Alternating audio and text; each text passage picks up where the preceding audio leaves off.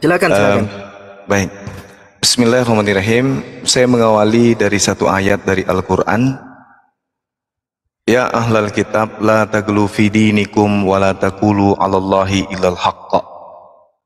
Innamal masihu Isa bin Maryam Rasulullah wa kalimatuhu alqaha ila Maryam wa ruhu minhu fa aminu billah wa rasulih wa la taqulu thalatha intahu khairal lakum innamallahu ilahu wahida subhanahu ayyakuna lahu waladu lahu ma fis samawati wa ma fil ar wa kafa billahi wakila. Wahai ahli kitab janganlah kamu melampaui batas dalam urusan agamamu dan janganlah kamu mengatakan terhadap Allah kecuali yang benar saja. Sesungguhnya Nabi yang datang di tengah-tengah Bani Israel itu hanyalah utusan Allah yang diciptakan dengan kalimatnya yang disampaikannya kepada Maryam lalu ditiupkan dengan ruhnya. Maka berimanlah kepada Allah dan utusan-utusannya dan janganlah kamu mengatakan Tuhan itu tiga. Berhentilah dari ucapan itu. Itu lebih baik bagimu. Sesungguhnya Allah pencipta langit dan maha yang maha pengasih ini hanyalah satu. Maha suci dia dari anggapan mempunyai keturunan silsilah anak dan seterusnya Miliknya lah apa yang ada di langit dan apa yang di bumi. Dan cukuplah Allah sebagai pelindung. Saya mengawali dari ayat ini karena mengingat ucapan Yesus di dalam Lukas 24 nomor 44. Inilah perkataanku yang yang telah kukatakan ketika aku bersama-sama dengan kalian Bani Israel. Yakni bahwa harus digenapi semua yang tertulis tentang aku di dalam Taurat Musa di dalam kitab nabi-nabi dan kitab Mazmur. Jadi kalau kita merujuk dari pengakuan Yesus ini, yang harus tergenapi tentang Yesus adalah apa yang ada di dalam kitab Taurat, kitab nabi-nabi, dan kitab Mazmur. Dengan kata lain, perjanjian lama. Ini kata Yesus. Dan Yesus tidak pernah sedikit pun menyentuh perjanjian baru bahwa dia harus tergenapi apa yang ada di kitabnya orang Kristen. Tapi Yesus selalu mengacu yang harus tergenapi tentang dirinya adalah kitabnya orang Yahudi. Jadi kita orang sekarang Salam satu Tuhan.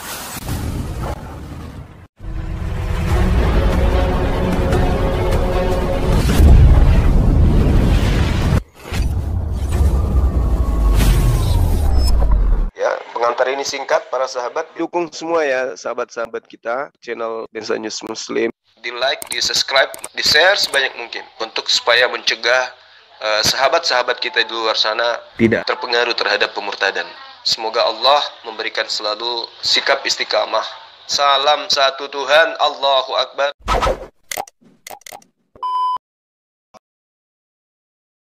Bangkit pada hari ketiga dan seterusnya. Itu tak ada. Menurut Yesus, bukan menurut saya. Di dalam catatan Lukas 24 nomor 44. Nah, lalu kemudian kalau berbicara mengenai Torah, berbicara mengenai nabi kitab nabi-nabi, berbicara mengenai kitab Mazmur, berarti Yesus sedang berkata, semua yang berlaku harus sesuai dengan kehendak Bapakku. Kehendak Bapakku. Nah, Bapak berkehendaknya di mana? Di perjanjian lama. Bukan di perjanjian baru. Di perjanjian baru juga ada Bapak, namanya Bapak Paulus. Tapi sangat sayang sekali Bapak yang dimaksud oleh Yesus di sini bukan Bapak Paulus, tapi Bapak yang ada di langit. Banyak dalil, misalnya di dalam Yohanes 14:24. Barang, barang barang siapa tidak mengasihi aku, ia tidak menuruti firmanku. Dan firman yang kamu dengar itu bukan daripada aku, melainkan dari Bapa yang mengutus aku. Berarti yang keluar dari mulut Yesus semuanya adalah firman dari Bapa. Yohanes 12:49. Sebab aku berkata-kata bukan dari diriku sendiri, tetapi Bapa. Nah, lagi-lagi Bapa yang mengutus aku, dialah yang memerintahkan aku untuk mengatakan apa yang harus aku katakan dan aku sampaikan. Berarti semua polanya harus berpola kepada Bapa. Kehendak Bapa. Kalau kehendak Bapa berarti perjanjian lama. Apa yang harus berlaku terhadap Yesus terkait kehendak Bapaknya? Nah ini yang penting untuk kita uh, teliti lebih jauh. Karena Yesus ini sekali lagi saya katakan yang harus tergenapi itu adalah yang ada di Torah, yang ada di Mazmur, yang ada di kitab para nabi tentang dirinya. Bukan yang ada di surah-surah Paulus, bukan, bukan. Yesus tidak pernah memberikan legalitas itu. Nah, sangat disayangkan Kristen ini justru kiblatnya perjanjian baru. Sementara Yesus tidak pernah menyentuh sedikit pun kitab tersebut. Saya kira begitu sementara, silakan. Oke, terima kasih Bang Sumaya. Iya, sama-sama Bang. Uh, sebenarnya saya mengkritisi tadi ketika Bang Palopo tadi mengatakan bahwa tokoh sentralnya ada tiga di perjanjian baru itu yang menurut dia ya.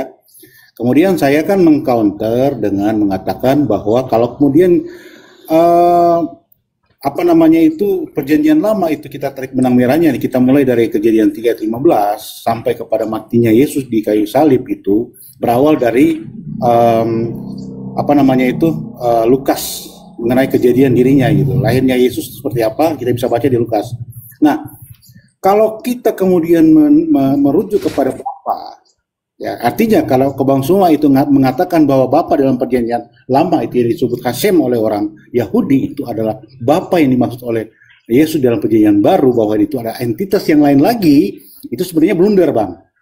Kenapa? Karena ketika Yesus di dalam di dalam uh, Yohanes 1 Yohanes 14 ayat 1 dia bilang janganlah geris hatimu percayalah kepada Allah percaya percayalah juga kepadaku iya di sini mengatakan bahwa tersirat bahwa kalau kita percaya, kepada Allah percaya percaya juga kepada Yesus berarti Yesus itu adalah Allah itu sendiri kita bisa konfirmasi ke Yohanes 4 ayat 24 tapi di ayat selanjutnya dia bilang begini di rumah Bapakku banyak tempat tinggal. Jika tidak demikian, tentu aku mengatakan kepadamu, sebab aku pergi ke situ untuk menyediakan tempat bagimu. Sosok yang dibicarakan Yesus di sini adalah dia, dia sendiri, gitu. Karena orang-orang Israel, menurut orang Israel, Bapak itu adalah, adalah seorang semua yang semua yang mempersiapkan segala sesuatu itu adalah Bapak, Bang Suma. Jadi orang Israel itu mengatakan bahwa kalau Bapak itu yang menyediakan segala sesuatu. Sementara Yesus mengklaim dirinya sendiri di Yohanes 14 ini dan dia sendiri yang menyediakan tempat bagi orang-orang pengikutnya. Ini seperti itu. Jadi jangan kita mencoba untuk apa namanya itu memisahkan antara antara Bapa dengan Yesus karena Bapa itu di dalam konteks perjanjian baru adalah roh itu yang dipanggil Bapa karena ketika Yesus sudah naik ke surga ketika Yesus naik ke surga itu konteks Bapak itu tidak ada lagi. Sudah tidak ada lagi Bapak, karena dia sendirilah yang menjadi Bapak itu. Begitu Bang Suma. Jadi kita coba satu-satu ya Bang Suma. Terima kasih. Iya, baik. Nah, sekali lagi saya katakan, apa yang abangku sampaikan ini adalah ajaran perjanjian baru. Yesus tidak pernah menyentuh perjanjian baru. Yesusnya selalu berkiblat ke perjanjian lama. Perjanjian baru itu adalah tulisan orang-orang yang sedang menceritakan hasil yang mereka urai dari hasil pencarian. Seperti misalnya, Yesus berkata, Yesus berkata, lalu dia berkata, lalu pergilah dia, lalu berkatalah Yesus. Itu adalah ucapan-ucapan Yesus yang kemudian dituliskan oleh orang. Jadi tidak bisa dijadikan sebagai rujukan bahwa inilah yang harus menjadi patokan. Kenapa? Karena Yesus menjadi patokannya itu perjanjian lama. Taurat, kitab nabi-nabi, dan juga Mazmur. Ini ucapan Yesus menurut hasil penyelidikan Lukas. Sedangkan ketika Yesus mengatakan anak manusia memang akan pergi sesuai dengan apa yang ada tertulis tentang dia, berarti Yesusnya mengacu kepada perjanjian lama. Aku Yesus harus pergi sesuai dengan apa yang tertulis tentang aku di perjanjian lama. Bukan yang tertulis di perjanjian baru. Kenapa demikian? Karena Yesus itu berbicara pada saat itu belum ada penulis yang menulis tulisan-tulisan muncul Lukas, Matius, Yohanes, Petrus, kemudian apalagi kisah para rasul itu muncul belakangan dari hasil penelitian baru dituliskan. Sedangkan Yesus berbicara muaranya adalah selalu merujuk kepada firman Tuhan kehendak Bapa. Kalau berbicara mengenai kehendak Bapa, berarti berbicara tentang firman-firman Tuhan yang ada di kitab para nabi. Sesuai dengan kehendak Bapa yang telah mengutus aku. Berarti kehendak Bapa di mana? Torah, Mazmur, Amsal. Itu semua kehendak Bapa. Kalau Lukas, Markus, Matius itu kan bukan kehendak Bapa, itu hanya hasil hasil investigasi penulis terhadap kajian-kajian Yesus, terhadap penginjilan Yesus, terhadap pengajaran Yesus, terhadap kurikulum Yesus kepada Bani Israel. Jadi itu pemberitaan saja. Makanya kalau di di kitab saudara disebut evangelion, kabar gembira, kabar, bukan firman tapi kabar. Kabar gembiranya dari orang-orang yang menuliskan terkait dengan Yesus. Tapi kalau berbicara mengenai firman Allah, berarti harus kembali kepada kitab para nabi. Sementara penulis kitab saudara bukan nabi. Nah ini yang perlu didudukkan dulu. Jadi kita jangan mencampur adukan antara ucapan-ucapan orang yang melakukan penyelidikan dengan firman-firman Tuhan atau sabda para nabi. Jangan dicampur adukan. Nah Yesus kalau berkata itu adalah sabda nabi. Ketika Yesus berkata itu sabda.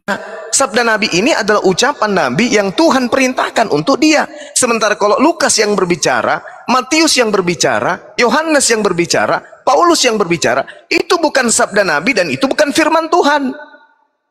Itu dulu yang harus didudukkan.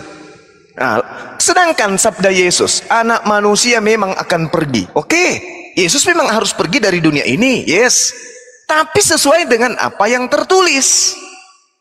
Nah, kalau sesuai dengan apa yang tertulis, Yesus ini adalah jalan, dia adalah kebenaran, dia adalah hidup, dia adalah orang suci, dia orang yang dikasihi, dia adalah orang yang benar. Apa yang tertulis tentang item-item gelar orang baik, orang suci, orang kudus, ya, orang orang orang kudus, orang suci, orang benar, terus kemudian orang yang dikasihi Tuhan. Apa yang tertulis di dalam perjanjian lama tentang dia? Itulah cara Yesus tinggalkan dunia. Jangan mengambil perjanjian baru. Tapi itu pola kalau kita berbicara kritik terhadap akidah. Tapi kalau iman, itu ranah iman silahkan. Kita tidak punya hak. La ikrah fiddin, tidak ada paksaan. Silakan saudaraku beriman dengan kitab saudara, tapi saya hanya mengatakan ini kerangka kritik terhadap akidah. Saya landasi dengan ayat suci Al-Quran tadi. Jangan melampaui batas dalam urusan agama.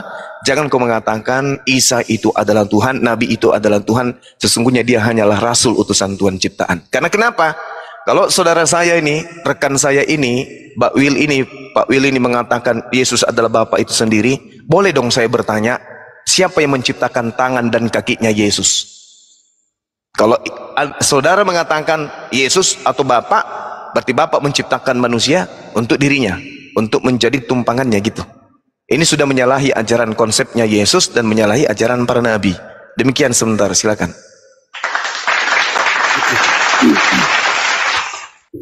Baik, uh, sebenarnya uh, kita harus merujuk kepada terminologi dulu ya. Kalau tadi saya jelaskan mengenai Bapak, mungkin nah, banyak dari teman-teman, terutama yang mendengar atau dari kalangan Kristen sendiri nggak mengerti itu Bapak itu siapa. Keberadaan Bapak itu, itu gelar bagi bagi nama, itu nama generik generik name buat sang Allah itu sendiri, gitu. Jadi kita harus pisahkan dulu, kita harus coba cari terminologi untuk untuk Bapak itu siapa, kemudian anak itu siapa, roh kudus itu siapa. Tapi kita tidak ke sana. Kita coba memahami itu dalam dalam sifat-sifat ketuhanannya Yesus gitu loh. Pertanyaannya, kenapa apa uh, siap bagaimana mengenai ciptaan Yesus mengenai daging, tangan dan sebagainya. Begini kawan, uh, Bang Suma. Jadi di dalam Lukas di dalam Lukas itu sudah dijelaskan bahwa kita baca aja ya Lukas 2 ya Lukas 2 ayat berapa itu? Ayat 7 ya. Supaya uh, ada ada ada dalil, ada dasar kita untuk ber itu bernarasi bahwa Lukas 2 ayat 7. Gini, Bang. Dan ia melahirkan seorang sebentar. Ah, 21 ya, 21 tahun. Al ayat 21. Oke, bukan, bukan, bukan. Sorry, sorry. Di dalam Lukas, bentar. Saya cari dulu ya, Bang. Iya, silakan. Lukas 2:11 mungkin. Dua ya 2:11 ya, 2 Ya, benar. Betul. Nah, hafal mati nih uh, Suma ini. Bang Suma. belajar, Bang. Belajar. Biasa. Saya hanya belajar. Begini, kita kan kita kan diskusi. Kita diskusi cari siap, bukan, siap. bukan bukan cari yang sama tapi cara cari perbedaan tapi bertoleransi. Begini. Kalau Anda benar sekali. Tadi tadi kan menanyakan kepada saya bagaimana cara dia menciptakan. Dia bilang sama di dalam Lukas ini dia bilang begini, hari ini telah lahir bagimu juru selamat yaitu Kristus Tuhan di kota Daud. Kristus yang dilahirkan atau Tuhan yang dilahirkan di kota Daud. Jadi begini, ketika dia bilang sama Maria bahwa jangan takut bahwa anak yang kau lahirkan uh, yang yang kau kandung itu adalah dari roh gitu. Dari roh. Jadi dikandung dari roh, bukan mengandung ya. Dikandung dari roh.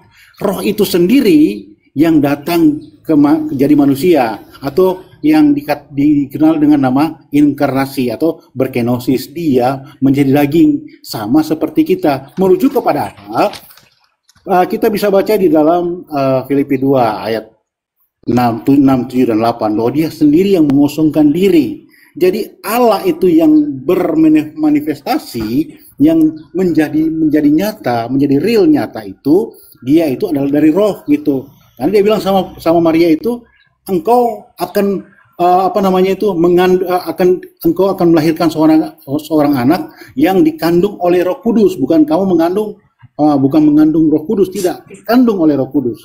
Maknanya apa? Jadi Roh itu yang menyatakan diri, itu yang disebut uh, apa namanya itu selem demut gitu loh. Jadi dia dia itu tu baik tubuh baik baik jika kalau orang orang lain mengatakan tubuh jiwa dan roh. Menurut saya tidak. Dia hanya men, merendahkan diri menjadi manusia menjadi sama dengan manusia. Itulah yang itu jawaban saya untuk bang Suma. Jadi kalau kalau anda bilang uh, apa dari mana? Itu dari roh gitu loh. Itu aja. Ya baik. Makasih bang. Jadi uh, kalau dibilang Yesus itu dikandung Sekali lagi saya katakan, kita terlalu jauh meninggalkan ajaran para nabi. Kalau yang dikandung ini Tuhan, yang dikandung ini adalah pencipta atau apa pun itu, disebut Bapa, disebut Allah, disebut Yehova atau apa yang intinya adalah pencipta dikandung manusia, kita terlalu jauh meninggalkan ajaran para nabi.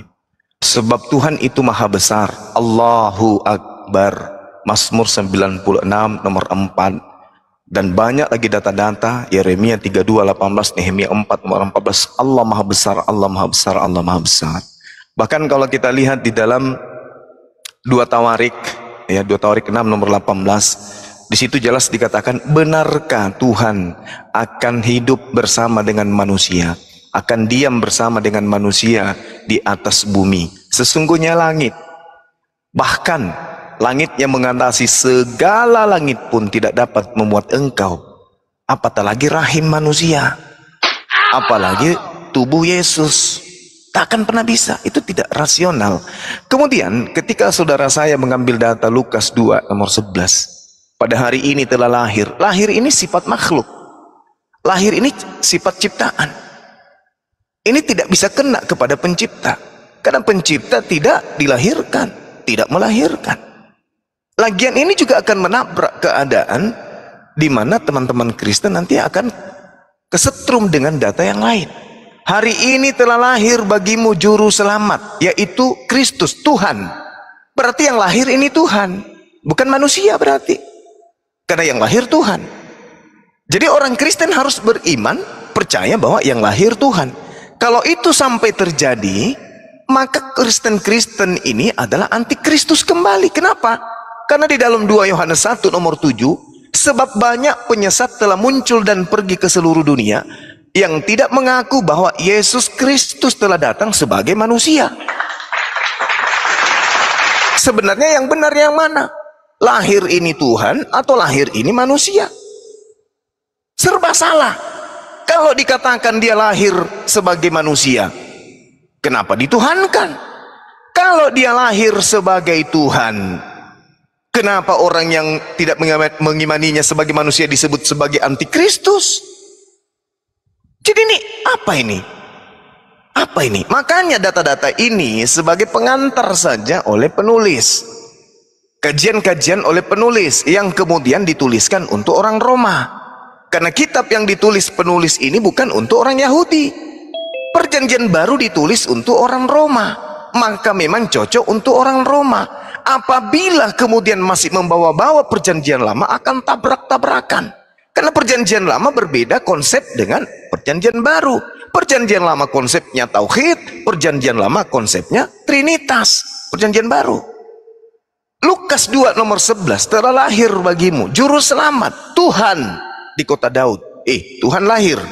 Berarti harus diimani sebagai Tuhan. Tetapi di dalam 2 Yohanes 1 nomor 7 banyak penyesat. Penyesat di sini yang dimaksud adalah Planos, Planos ini pembohong, pembohong ini penipu. Banyak pembohong, banyak penipu, banyak penyesat telah muncul dan pergi ke seluruh dunia yang tidak mengaku bahwa Yesus Kristus telah datang sebagai manusia. Itulah si penyesat dan itulah antikristus. Berarti yang lahir ini mau diimani sebagai Tuhan atau sebagai manusia? Kalau diimani sebagai Tuhan, berarti penyesat. Kalau diimani sebagai manusia, berarti bukan Tuhan. Jadi mau ke mana perginya? Harus kembali kepada Yesus. Wahai Yesus, engkau siapa? Karena kalau di Yohanes mengatakan engkau adalah manusia, tapi di dalam Lukas mengatakan engkau adalah Tuhan. Kamu sendiri menurutmu siapa? Maka Yesus mengatakan, aku adalah manusia. Mana buktinya? Kita lihat di kisah para rasul 22 nomor 8. Siapakah engkau? Apakah engkau Tuhan? Yesus menjawab, akulah Yesus manusia dari kota Nazaret yang kau aniaya. Oh, menurut Yesus dia manusia. Berarti kesimpulannya Yesus manusia. Kembali ke kita nih. Makhluk berakal. Maukah kita menuhankan manusia? Sedangkan Yesus mengatakan, aku mau supaya mereka percaya bahwa engkaulah yang telah mengutus aku. Berarti aku harus dipercaya hanya sebagai utusan. Sebagai utusan tentu dia manusia. Makanya saya tadi bertanya, siapa yang menciptakan tangan Yesus? Siapa yang menciptakan jarinya, kakinya, dan seterusnya? Karena dia adalah ciptaan. Kenapa dia ciptaan? Karena dia lahir. Segala sesuatu yang lahir berarti adalah hal yang baru. Segala hal yang baru berarti individu baru. Segala individu baru berarti ciptaan. Segala ciptaan sudah pasti bukan Tuhan. Segala yang bukan Tuhan, kalau disembah, berarti sesat. Yesus ciptaan karena dia dilahirkan. Nah, kita mau ke mana? Kita mau nyebrang ke ajaran Nabi Musa, nggak nyampe. Mau lari ke ajaran Nabi Daud, nggak bisa. Salomo nggak bisa. Ke Abraham tak bisa. Ke mana pergi? Ke Yesus juga tak bisa. Yesus sendiri mengatakan dia manusia. Aku tak dapat berbuat apa-apa dari diriku sendiri. Bahkan Yesus pun menyembah. Dia adalah hamba. Dia adalah abdi. Dia bertuhan. Dia bukan ateis. Ketika datang di tengah-tengah Bani Israel, dia mempraktekkan menjadi hamba Allah. Makanya dikatakan di dalam Yohanes 4 nomor 22, aku dan kalian menyembah apa yang kita kenal. Sedangkan mereka tidak mengenal apa yang mereka kenal. Kami menyembah apa yang kami kenal, kalian menyembah apa yang tidak kalian kenal. Itu kata Yesus. Berarti Yesus berdoa sebagai manusia, yes, wajar karena dia nabi.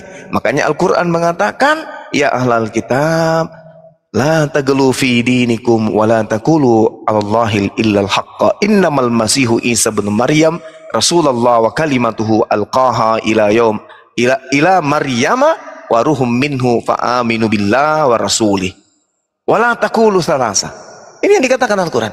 Jangan melampaui batas dalam hal agamamu. Karena dalam agamamu pun Yesus tidak pernah mengajarkan hal demikian. Saya kira begitu bang. Silakan saya izin monitor ibadah asar dulu sebentar, silakan. Oke, baik ya. uh, sebagai sebagai sebagai tambahan dari saya bahwa pertama saya tidak membawa premis bahwa saya itu tritunggal atau apa pun itu. Saya juga tidak percaya doktrin-doktrin yang timbul di, di, di abad kedua dan ketiga itu.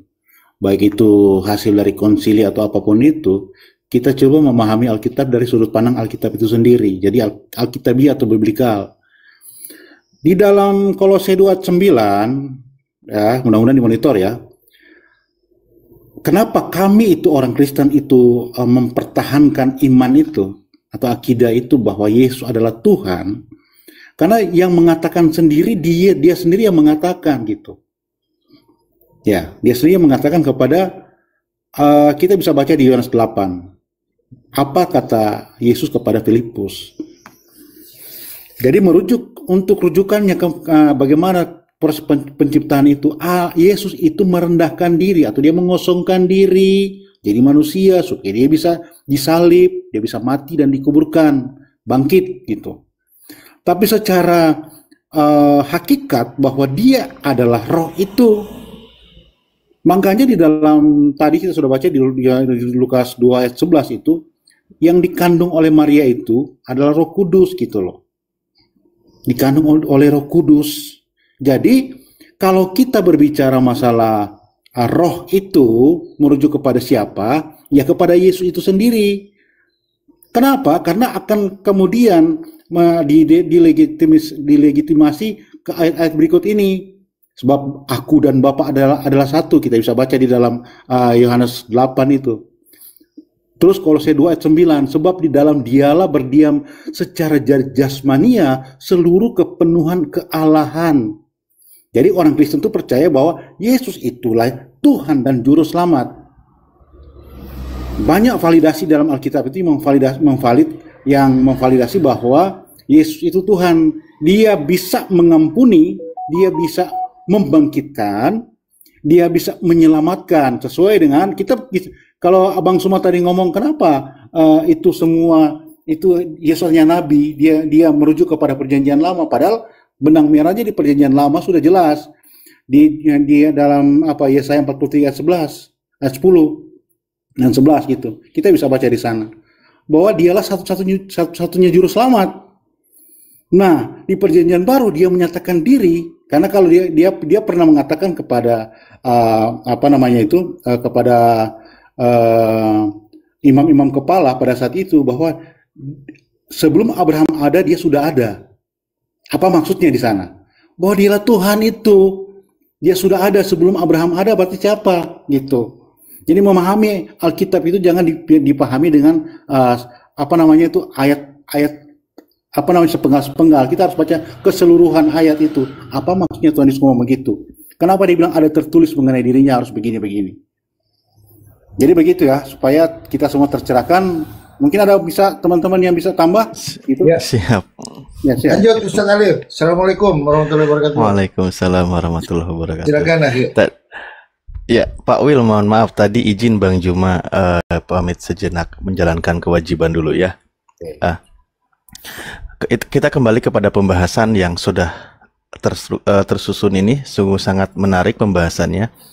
Nah, cuman begini Pak Will, ketika kita mengenalkan Yesus, ya kita mengenalkan Yesus bukan dari lisan Yesus, maka sebenarnya barometer menilai kebenarannya ketika itu terjadi kontradiksi, maka kembalikan kepada pernyataan Yesus.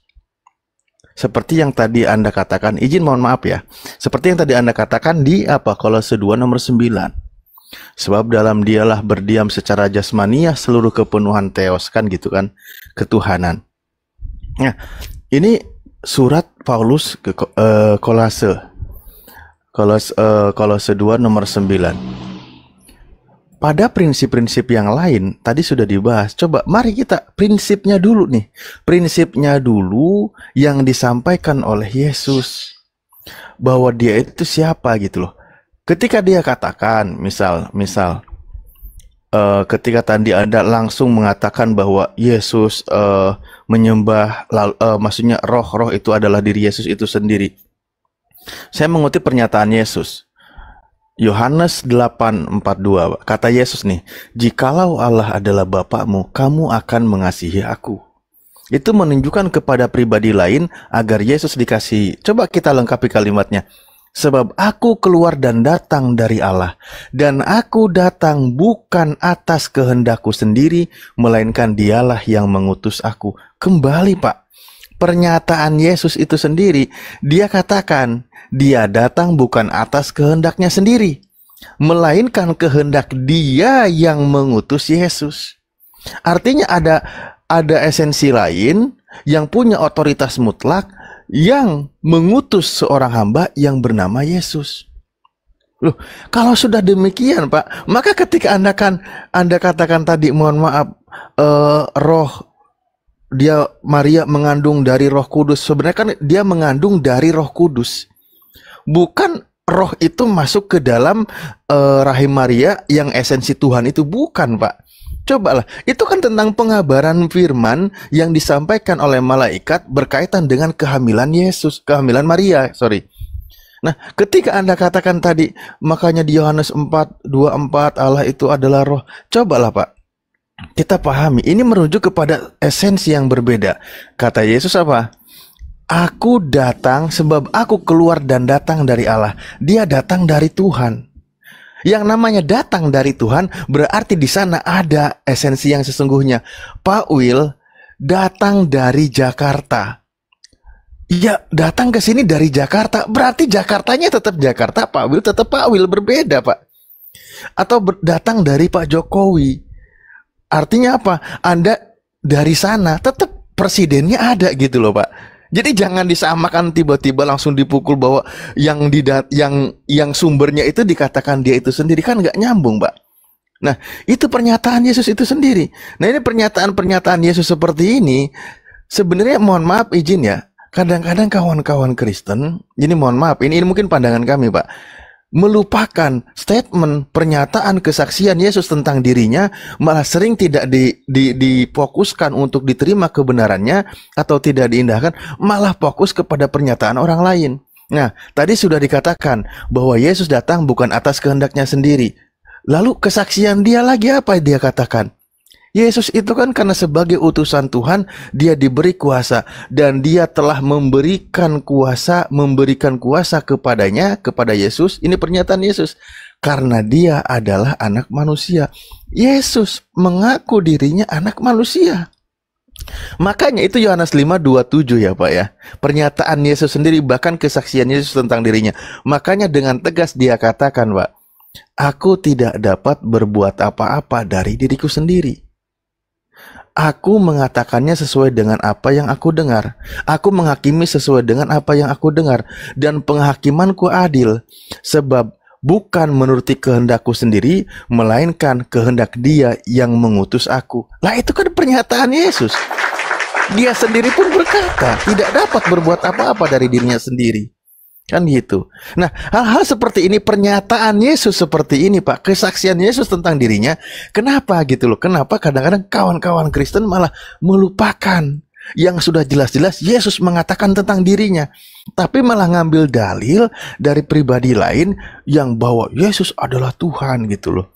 Coba kembali kepada pernyataan Yesus. Kalaupun terjadi perbedaan atau kontradiksi, misal, oke okay lah, beda orang. Tetap ingat poin utamanya itu jangan di jangan dihilangkan. Apa pun yang disampaikan oleh mereka, kehebatan mereka, kekuasaan, sorry, kehebatan Yesus yang disampaikan oleh mereka, apa pun itu segala sesuatunya, tetap poin intinya jangan dila, jangan dilupakan apa yang dinyatakan oleh Yesus karena dia mengaku anak manusia.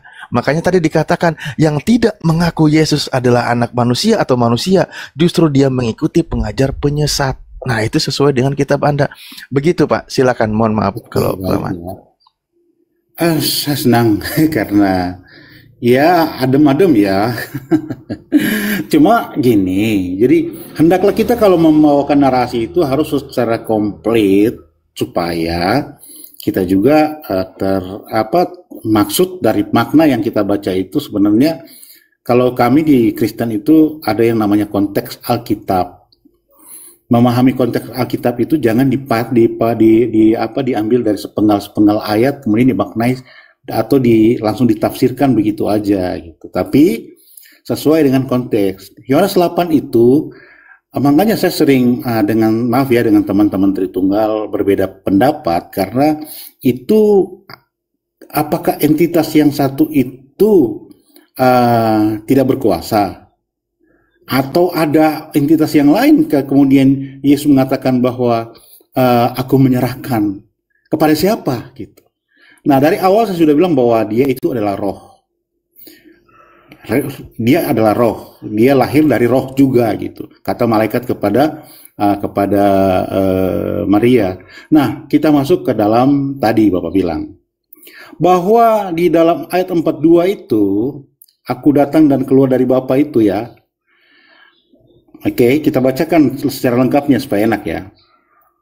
Kata Yesus kepada mereka, "Jikalau Allah adalah Bapamu, kamu akan mengasihi aku sebab aku keluar dari dan datang dari Allah." gitu. Selanjutnya, dan aku datang bukan atas kehendakku sendiri, melainkan dialah yang mengutus aku. Maknanya jangan diambil di situ aja, Bang. Kita balik ke ini, gitu. Ada ada dia punya apa namanya itu runutannya. Ya, kami adalah ya kata Yesus kepada mereka. Aku berkata kepadamu ini ayat 34 di pasal yang sama. Aku berkata kepadamu, sesungguhnya setiap orang yang berbuat dosa adalah hamba dosa, dan hamba dosa tidak tetap tinggal dalam rumah, tapi anak tetap tinggal dalam rumah. Jadi, apabila anak memerdekakan, memerdekakan kamu, kamu pun benar-benar merdeka. Aku tahu bahwa kamu adalah keturunan Abraham, tapi kamu berusaha untuk membunuh aku. Kata Yesus kepada murid-muridnya pada saat itu. Karena firmanku tidak ber, tidak beroleh tempat di dalam kamu.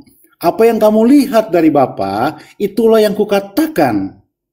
Apa yang apa yang kulihat dari Bapa, itulah yang kukatakan dan dan demikian juga kamu perbuat tentang apa yang kamu dengar daripada Bapamu. Jawab mereka, jawab mereka kepada kepadanya, Bapak kami ialah Abraham, kata Yesus kepada mereka. Jikalau sekiranya anak-anak Abraham, tentulah kamu mengerjakan pekerjaan yang dikerjakan oleh Abraham. Tetapi kamu kerja, tetapi yang kamu kerjakan berusaha membunuh, membunuh aku. Aku seorang yang mengatakan kebenaran kepadamu, yaitu kebenaran yang kudengar dari Allah. Nah, dari sini lagi kita lihat kita kita lihat bahwa dia bilang dari Allah, seolah-olah ada entitas yang lain pekerjaan yang demikian tidak dikerjakan oleh Abraham. Kamu mengerjakan pekerjaan Bapamu sendiri. Jawab mereka, kami tidak dilahirkan dari Sina. Bapak kami satu yaitu Allah. Nah, di sini kata Yesus kepada mereka, "Jikalau Allah adalah Bapak kamu, Bapamu, kamu akan mengasihi aku, sebab aku keluar dan datang dari Allah." Jadi konteksnya begitu, Bang. Konteksnya dari sana, dari jangan kita kita ambil dari ini ya, dari dari apa namanya itu uh, uh, ayat 42 saja, tapi kita runut dari dari atas, dari ayat-ayat sebelumnya gitu. Itu kan uh, dia Yesus sementara berkomunikasi dengan murid-muridnya. Dan seorang yang yang bernama Filipus itu dia tidak percaya kalau Yesus itu kalau selama ini yang dia lihat selama ini uh, di, di hadapannya dia bahwa Yesus itu siapa? Masih penasaran dia. Makanya dia tanya dia tanya kepada Tuhan Yesus. Jadi seperti itu. Apalagi Yesus perta, uh, begini, untuk memvalidasi bahwa melegitimasi bahwa dia adalah Allah, dia bisa menyembuhkan, membuat mujizat. Pada saat di suatu apa di suatu kesempatan dia uh, berubah. Dia berubah artinya begini. Ketika dia berubah dari tubuh biasa jadi ke tubuh kemuliaan bersama-sama dengan Elia dan uh, dan Musa, dia berubah. Kemudian pernyataan Yesus itu banyak di dalam Alkitab bahwa dia sendiri, akulah akulah kebangkitan, akulah terang, akulah roti. Aku datang dari atas bukan dari bawah. Itu banyak pernyataan Yesus di dalam Yohanes itu, Pak. Jadi demikian. Jadi kalau kemudian kita uh, apa namanya itu meyakini bahwa Yesus adalah Tuhan karena Yesus sendiri mengatakan mengatakan dan banyak sekali ayat Alkitab yang bisa memvalidasi hal itu. Demikian, teman-teman.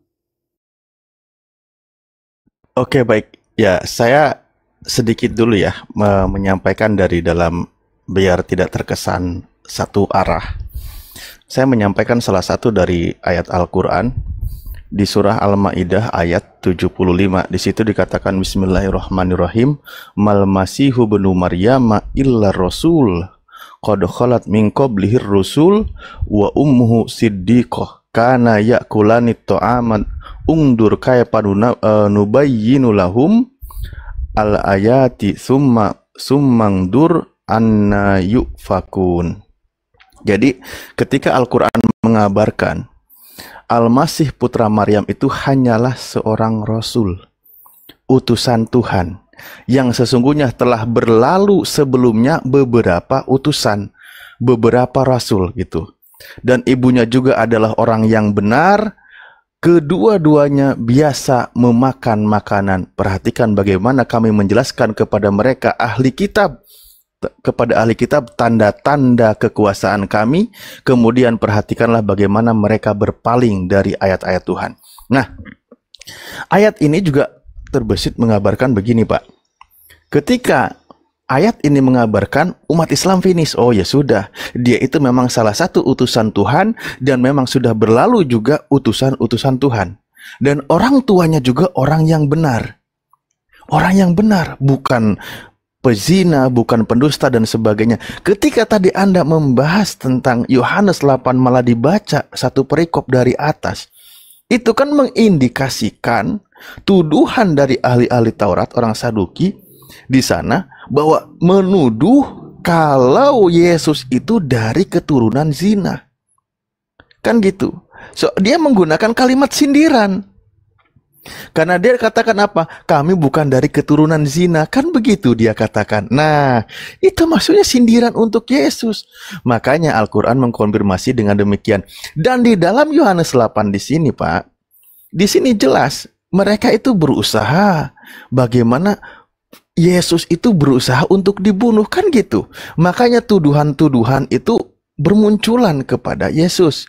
Yesus menegaskan berkali-kali kalau dia itu utusan Tuhan. Kalau dia itu utusan Tuhan, makanya dia sampai dikatakan ketika tadi di 42, dia katakan datang dari Tuhan. Maksudnya membawa pengajaran Tuhan. Membawa kebenaran kabar dari Tuhan, ajaran yang benar dari Tuhan. Makanya di ayat 43 di ayat eh, 47 sorry, di situ kenapa? Barang siapa berasal dari Allah, ia mendengarkan firman Allah. Itulah sebabnya kamu tidak mendengarkannya karena kamu tidak berasal dari Allah, gitu loh Pak. Nah, jadi kalau kamu memang benar-benar sejalan dengan apa yang dipahami Yesus tentang ketuhanan, kamu benar-benar mengikuti firman Tuhan, kamu harus dengarkan firman pengajaran yang disampaikan oleh Yesus. Karena kamu tidak berasal dari Allah, masalahnya kamu tidak mau mengikuti apa yang diajarkan. Makanya kan fonis Yesus apa? Di empat-empatnya, iblislah yang menjadi bapakmu. Karena ia, kamu melakukan keinginan-keinginan bapakmu. Ia adalah pembunuh manusia sejak semula dan tidak hidup dalam kebenaran. Sebab di dalam dia tidak ada kebenaran apabila ia berkata-kata dusta. Ia berkata atas kehendaknya sendiri sebab ia adalah pendusta dan bapak segala dusta. Kan gitu Pak. Ya, jadi tuduhan terhadap Yesus, bagaimana Yesus berusaha dibunuh, ternyata berusaha membunuh Yesus itu adalah mengikuti kehendak iblis. Sementara kan kata Yesus tadi kita bacakan di empat duanya. Jikalau Elohim adalah Bapakmu, kamu akan mengasihi aku. Sebab aku keluar dan datang dari Allah. Dan aku datang bukan atas kehendakku sendiri. Merujuk ini menunjukkan ada dua esensi Pak. Satu, Elohim yang mengutus Yesus, kedua seorang yang diutus oleh Elohim namanya Yesus. Dan Yesus datang itu bukan atas kehendaknya sendiri. Karena dia itu hanya sebagai utusan melakukan mengerjakan sesuai dengan apa yang diinstruksikan oleh Tuhannya. Makanya aku melainkan dialah yang mengutus aku. Apa yang dikerjakannya sesuai dengan siapa yang mengutusnya. Kan gitu sebenarnya. Kalau masalah tentang rohnya Pak itu di dalam kitab Anda sendiri sudah mengabarkan. Ini catatan pentingnya Yohanes 3:34 misal kita baca. Sebab siapa yang diutus oleh Allah, dialah yang menyampaikan firman Allah. Yesus tadi mengaku diutus oleh Allah. Yesus mengatakan dia menyampaikan firman Allah. Karena Allah mengaruniakan rohnya dengan tidak terbatas. Dan ini menunjukkan kepada umum Pak, bukan hanya Yesus. Jadi sebab siapa yang diutus Allah artinya apa? Banyak utusan Tuhan. Pasti dia menyampaikan firman Tuhan. Karena Tuhan mengaruniakan ruhnya dengan tidak terbatas. Kalau Yesus memiliki ruh Tuhan artinya apa-apa? Memiliki pengajaran dari Tuhan. Karena Tuhan mengaruniakan ruhnya yang tidak terbatas. Ruhnya itu pengajaran firman Tuhan yang disampaikan kepada umatnya.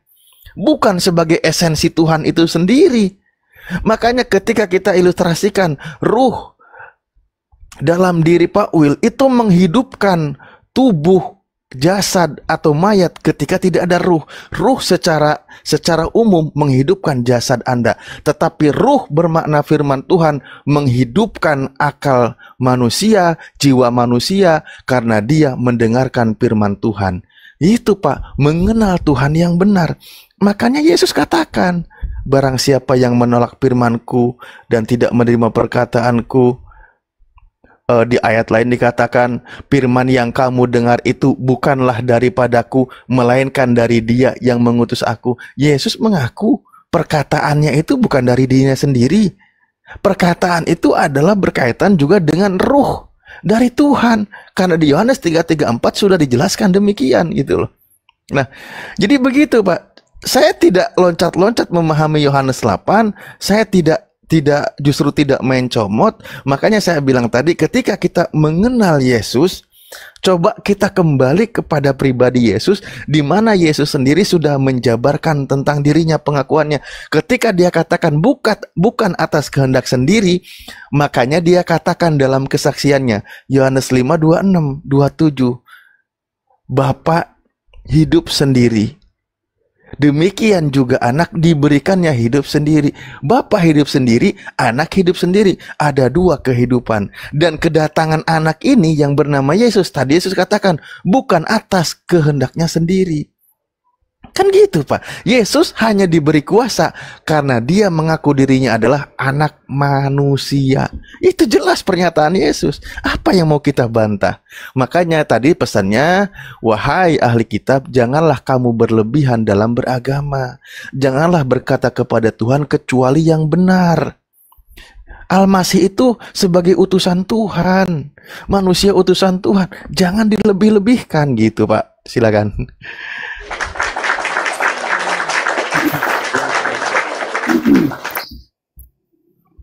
Terima kasih ya. Bagus Bapak punya argumennya sangat sangat mengena untuk untuk dipahami. Untuk dipahami secara keimanan. Kita kan pakai kacamata Alkitab, kalau Bapak pakai kacamata Al-Qur'an. Oke, okay, baik. Kan tadi Bapak mulai dengan ayat Alkitab, ayat, ayat Al-Qur'an yang mengatakan jangan jangan dilebih-lebihkan. Di dalam di dalam ayat Alkitab juga di sana bahwa lebih lebih strong lagi itu sebenarnya ya. Untuk memahami Allah itu sebagai hakikat itu kita bisa baca di dalam Ayub 11 ayat 7 gitu. Supaya lebih strong gitu. Nah, jadi kenapa kita tidak boleh memahami Allah itu dengan sembarangan? Karena memang di Alkitab sudah dikatakan begitu. Kita baca di Ayub ya, teman-teman. Ayat 11, ayat 11 ayat 7. Oke, okay. Ayatnya begini bunyinya, dapatkah engkau memahami hakikat Allah? Dapatkah engkau memahami memahami hakikat Allah, menyelami batas-batas kekuasaan yang maha kuasa? Yang kita bicara dari tadi itu Yesus yang adalah Tuhan itu dialah yang maha kuasa itu. Sebenarnya di dalam di dalam Yohanes sendiri itu di, di, di apa di ayat di pasal 8 itu menjelaskan semua ya. Kalau kemudian kita merujuk kepada Yohanes 8 masih di pasal yang sama. Ya, masih di pasal yang sama ya, kita bisa baca di sana. Mulai dari ayat 12, perikop judul perikopnya adalah Yesus Yesus adalah terang dunia. Kemudian kita bisa baca di sini uh, selanjutnya di, dikatakan bahwa Yesus bukan dari ini, itu ayat 21-nya. Nah ini menekankan kepada kita semua bahwa dia itu tidak sebatas daripada anggapan dari kawan kawan-kawan teman-teman muslim yang mana mengatakan dia hanya nabi. Kalau kemudian gelar itu disematkan kepada Yesus adalah nabi, iya, salah satunya dia itu nabi. Salah satunya itu gelar, itu gelar dia itu atau namanya apa namanya itu uh, jabatannya itu dia juga bisa nabi. Nggak apa-apa bahkan dia juga rasul nggak apa-apa. Dia juga uh, raja banyak gelar-gelar Yesus yang kemudian dia tidak pernah menolak. Seperti uh, apa kata Thomas kepada dirinya? Kepada dirinya engkaulah oh engkaulah engkaulah Tuhan engkaulah guru dan Tuhan. Dia tidak Tuhan Yesus tidak pernah menolak atau tidak tidak resistensi dengan dengan kata-kata itu.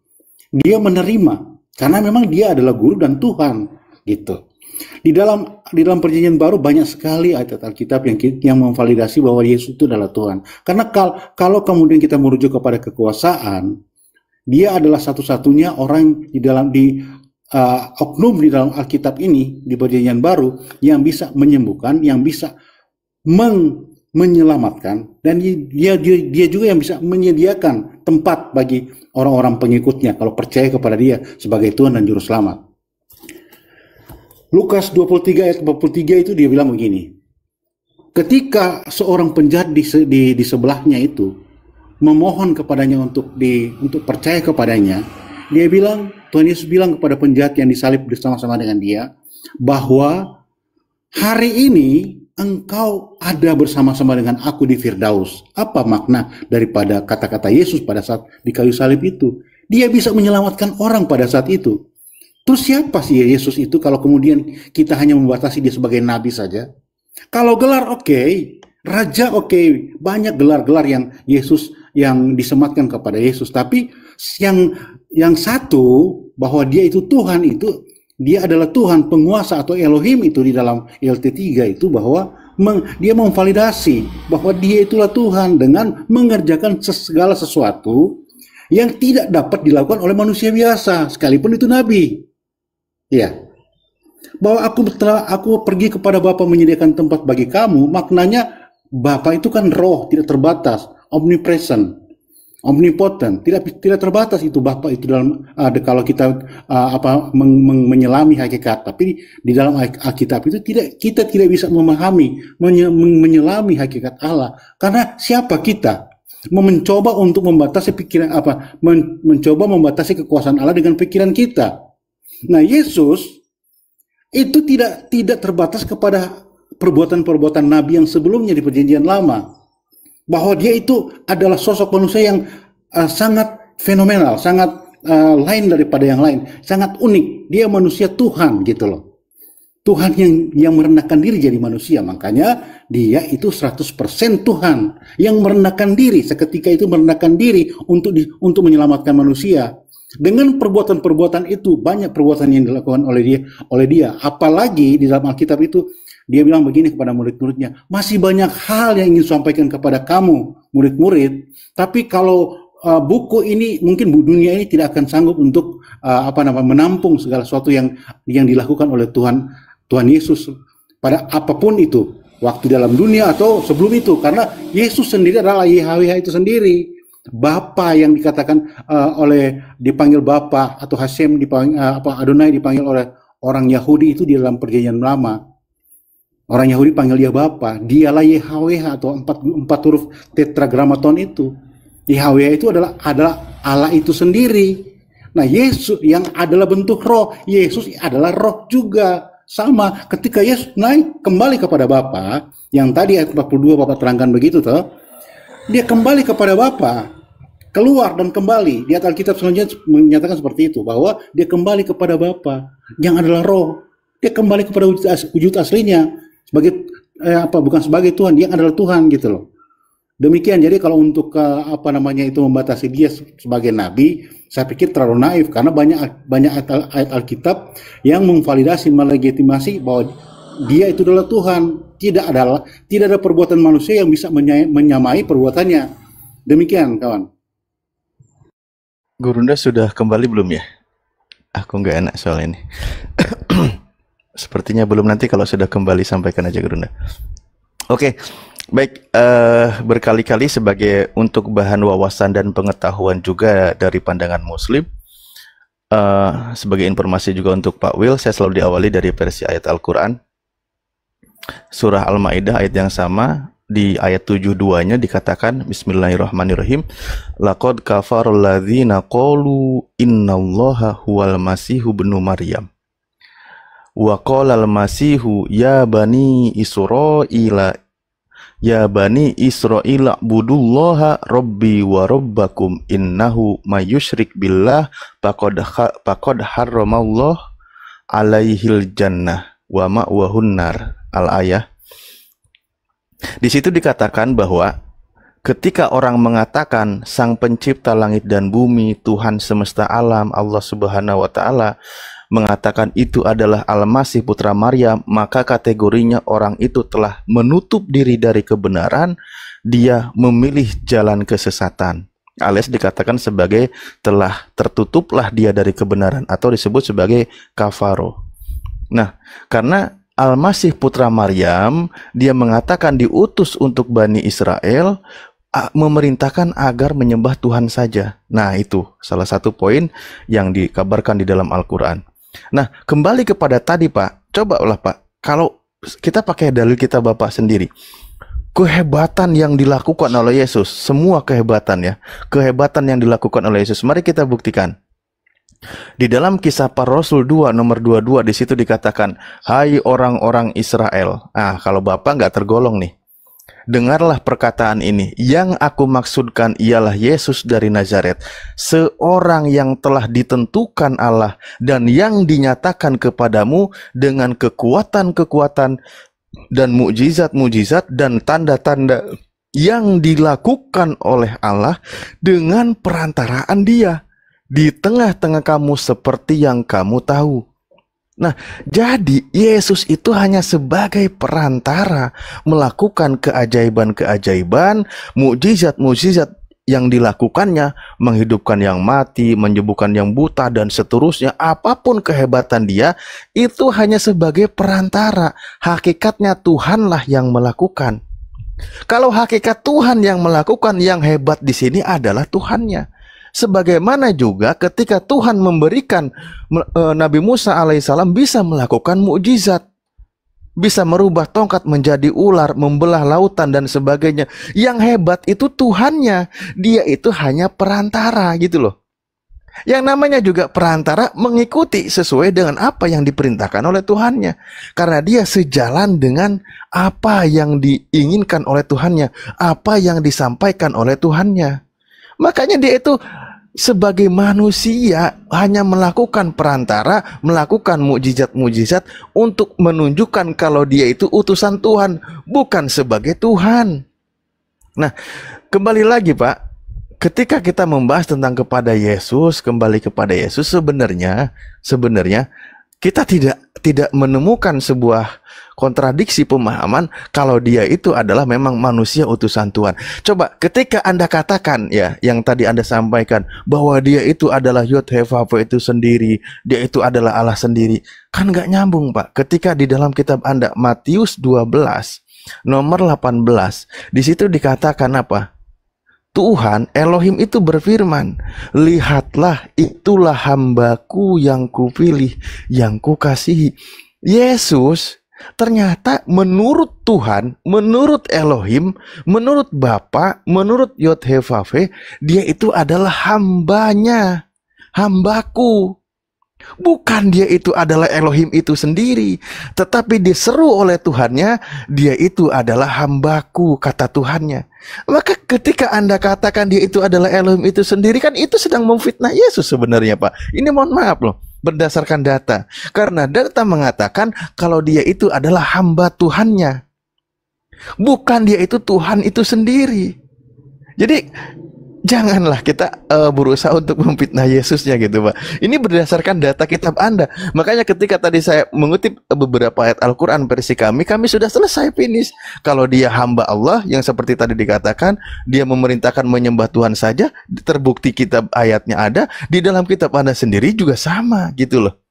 Bahkan diseru oleh Elohim, oleh Tuhan, dia itu adalah hambanya. Makanya di KPR 3.13 dikatakan, Allah Abraham, Ishak dan Yakub adalah Allah nenek moyang kita. Telah memuliakan hambanya, yaitu Yesus. Yesus hamba Allah, dimuliakan oleh Allah. Kalau dia seorang hamba, berarti ada yang memuliakan dan ada yang dimuliakan. Merujuk kepada esensi yang berbeda. Sebagaimana pernyataan Yesus yang tadi saya sampaikan, Pak di Yohanes 5, 26, 27 itu jelas Elohim punya kehidupan sendiri, Yesus punya kehidupan sendiri. Kalau Yesus hidupnya karena diberi oleh Elohim itu sendiri. Begitu Pak. Mungkin kalau nanti Bang Suma sudah standby, saya kembalikan. Silakan. Oke ya, uh, sebelum Bang Suma balik, Uh, tidak apa-apa. Itu kan menurut Bapak menilai seperti itu. It's okay, tidak masalah buat kita-kita ya. Apalagi Kristen itu memandang bahwa toleransi, toleransi adalah suatu perbedaan. Nggak masalah. memaksakan sesuatu akidah kan pasti nggak akan masuk juga kan karena dari argumen bapak menilai seperti itu ya menurut bapak cocok ya nggak masalah yang saya mengatakan yang saya katakan begini Yesus itu disematkan berba apa namanya itu dari banyak banyak gelar apakah dia seorang hamba iya apakah dia seorang uh, Tuhan iya Kenapa? Karena Alkitab itu memvalidasi itu. Kita bisa baca di dalam Kolos uh, Filipi 2 ayat coba kita baca ya. Tapi sebelum itu saya, saya bawa ke ayat ini ke teman-teman. Di dalam Alkitab Efesus 1 ayat 17 judulnya begini. Eh, ayat, berbunyi, bunyinya begini. Dan meminta kepada Allah Tuhan kita Yesus Kristus yaitu Bapa yang mulia itu supaya ia memberikan kepadamu roh hikmat dan wahyu untuk mengenal dia dengan benar.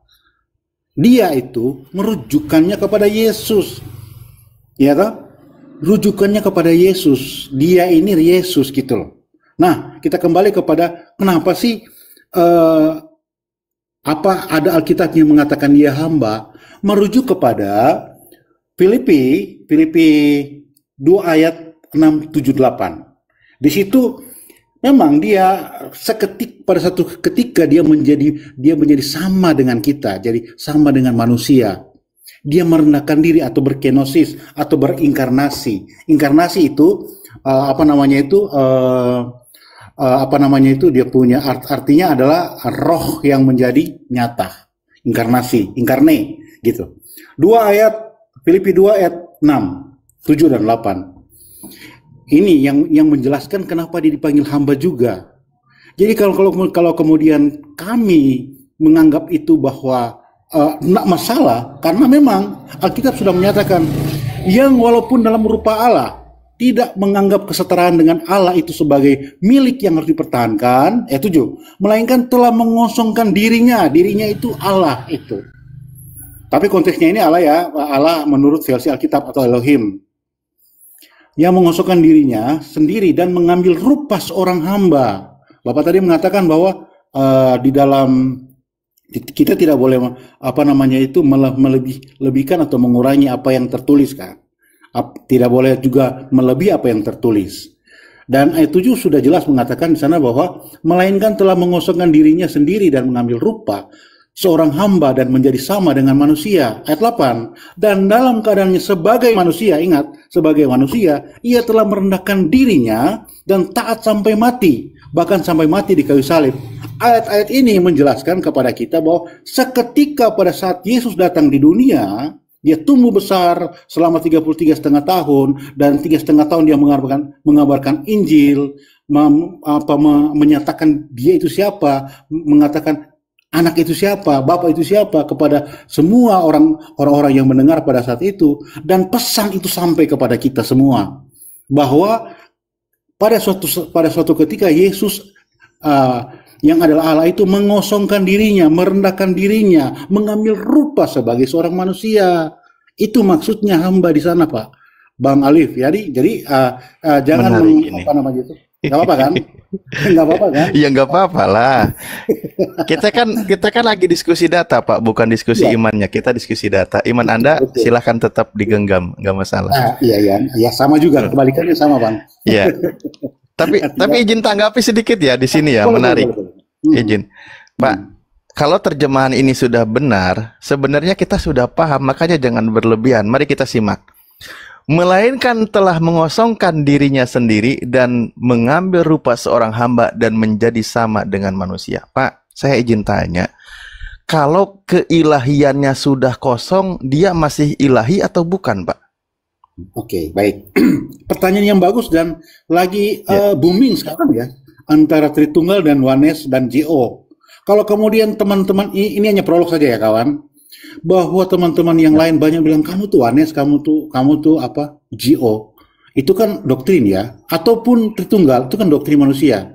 Saya mau jelaskan di sini bahwa ketika orang-orang menjelaskan doktrin atau konsep manusia dimasukkan dimanu, dimasukkan ke dalam Alkitab untuk mencapai her, hermeneutikanya, ilmu hermeneutikanya atau tafsiran, artinya apa?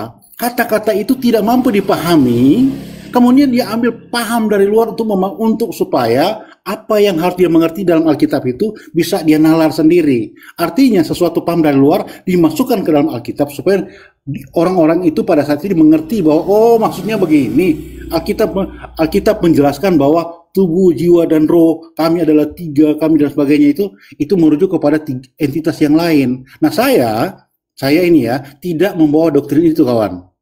Uh, seperti Bang Suma pernah tadi uh, sebut juga uh, Tritunggal begini, saya tidak sampai di sana. Artinya begini, saya tidak membawa uh, doktrin di sini. Saya kembali kepada Alkitab. Apa apa kata Alkitab? Nah, jadi begini, ketika dia mengosongkan dirinya di sini ya, Allah itu yang adalah roh itu yang datang sebagai manusia, dia adalah benar-benar Allah. Kenapa? Kalau kemudian dia jadi manusia, di, di Alkitab itu mengatakan bahwa semua manusia sudah berbuat dosa dan sudah kehilangan kemuliaan. Roma, Roma 6 ayat 23 atau 3 23 ya. Begitu. Jadi ada ada dalilnya bahwa kalau kemudian konsekuensinya Yesus jadi manusia, benar-benar jadi manusia seutuhnya, ya kan? Bahwa dia kehilangan kemuliaan, dia bukan Bapa lagi, bukan Allah lagi, tapi roh di dalam Yesus itu berkuasa atas dirinya. Jadi dia dia tetap Allah, cuman dia pada suatu saat dia mengosongkan, merendahkan dirinya. Tapi dia tetap Allah itu sendiri. Bisa dipahami sampai di sana? Oke, mungkin mungkin hanya, hanya saya hanya sulit. menjelaskan seperti itu. Siap, akan siap. Pahami. Akan sulit. Tapi begini, Bang. Sulit memang. Begini, yeah. begini, dasarnya kenapa saya harus ngomong begitu? Karena ada konsekuensi logisnya. Kalau dia, kalau dia dia datang sebagai manusia, manusia yang berbuat dosa, dia hanya menanggung dosa, bukan berbuat dosa, kawan. Dia hanya menanggung dosa. Begini, ketika dia itu kembali kepada Bapa, dia bangkit itu dalam tubuh dengan tubuh kemuliaannya itu, berarti dia berkuasa atas dirinya. Sementara kodrat manusia, dia mati. Kalau kita mati, pada pada saatnya kita mati, tubuh-tubuh apa sel-sel dalam tubuh dalam tubuh kita akan mati. Bukan Pak. Uh, sebelum ke sana, jadi intinya ketika sudah kosong apakah masih ada isinya, Pak? Iya, dia dia adalah roh, dia makanya begini, Pak. Kan roh sudah itu... kosong, Pak. Tadi kan Anda katakan roh itu ilahi. Nah, ya kan? Tapi dia sama dengan manusia yang lain dan dia menjadi seorang hamba dan nah. keilahiannya kosong. Kan pertanyaannya jadinya kalau keilahiannya kosong, kemanusiaannya full karena dia manusia sama serta yang lain, maka yang namanya kosong berarti ilahinya tidak ada Pak dalam diri Yesus. Benar nggak? Tapi begini Pak, jadi kelihatannya kita sudah bagus bagus bagus. Uh, paham-paham mengenai duinatur itu menurut kami itu memang sangat sesat buat kami itu buat buat kami ya terserah orang lain beranggapan ah Yesus itu adalah adalah uh, apa ilahi dan uh, il, dia ilahi natur ilahi dan kemudian dia adalah natur apa manusia. Menurut kami itu tidak tepat. Kenapa? Harus dipahami di sana bahwa kalau kemudian yang mati itu manusia, dia hanya datang sebagai manusia. Dia hanya datang sebagai manusia. Itu yang harus, harus ditanamkan kepada pikiran kita terutama kami yang Kristen ya, mudah-mudahan ada Kristen yang mendengar di sini, bahwa dia seketika itu hanya merendahkan diri dari statusnya seorang penguasa itu dia dia merendahkan diri supaya dia supaya dia merasakan apa yang harus manusia rasakan ketika dia apa mengalami kematian. Tapi yang mati itu Tuhan. Kita bisa baca di dalam uh, Wahyu 1 ayat 18 supaya teman-teman di sini mungkin saya harus pakai dalil Alkitab supaya uh, tidak tidak apa ngalor ngidul uh, kesannya seperti itu ya. Ya, ayat 18 begini, uh, Bang. Dan yang hidup yang 18 ya, dan yang hidup dan aku telah mati, namun lihatlah aku hidup sampai selama-lamanya dan aku memegang segala kunci maut dan kerajaan Siap. maut. Mungkin ya. sebelum kembali ke Gurunda, ke Bang Zuma sudah kembali. Jadi gini Pak, ketika ada gelas, gelas ada air lalu dikosongkan airnya maka gelas itu nggak ada airnya lagi kosong dia. Sama seperti gelas-gelas yang lain nggak ada isi. Nah konsekuensi tadi anda membawa Filipi 2 nomor 7 itu menandakan kalau ilahinya nggak ada Yesus seutuhnya manusia. Karena sudah kosong Tuhannya itu udah nggak ada. Udah nggak ada. Dia sama seperti kita seorang hamba. Nah ilahi tetap ada pada posisinya, maka dia berseru sang ilahi itu kepada hamba, itulah hambaku yang kupilih, yang kukasihi, yang kepadanya jiwaku berkenan. Tapi ya nggak akan ketemu di bulak balik penjelasannya seperti apa pun. Kalau kosong tetap dikatakan isi, kecuali kosong ya isinya angin, itu beda cerita gitu. Mungkin Bang Juma sudah kembali silakan.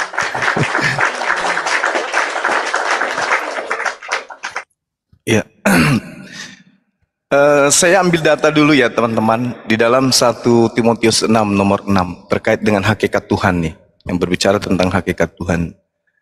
Dialah satu-satunya yang tidak dapat didekati atau tidak dapat mati. Dialah satu-satunya yang tidak dapat mati. Dalam bahasa Yunani Atanasia. Siapa dia yang tidak dapat mati ini? Yesus kah? Uh, Bang Will. Dialah satu-satunya yang tidak dapat mati bersemayam dalam terang yang tak terhampiri. Seorang pun tidak pernah melihat dia dan memang manusia tidak dapat melihat dia. Baginya lah hormat dan kuasa yang kekal. Amin. Ini siapa ini bang? Ya, sang penguasa itu, Elohim itu. Bukan Yesus kan? Elohim ya Yesus. Lah, Yesus dapat mati. Nah, dalam kemanusiaannya dia mati. Ah, maka dari itulah dia Yesus bukan ilahi. Karena Yesus dapat mati, sementara yang diceritakan ini tidak dapat mati. Ada kronologinya, Bang Suma. Uh, apa pun itu, yang namanya Tuhan, dialah yang menghidupkan, dialah yang mematikan. Yang dimatikan dan yang dihidupkan itu makhluk. Lanjutannya, tidak seorang pun yang pernah melihat dia. Yesus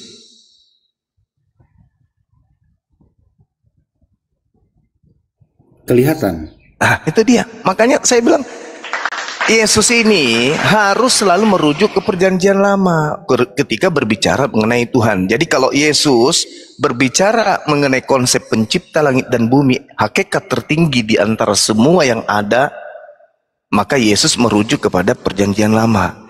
Kalau Kristen beda. Kristen ketika berbicara mengenai Tuhan atau dewa mereka, Salam satu Tuhan.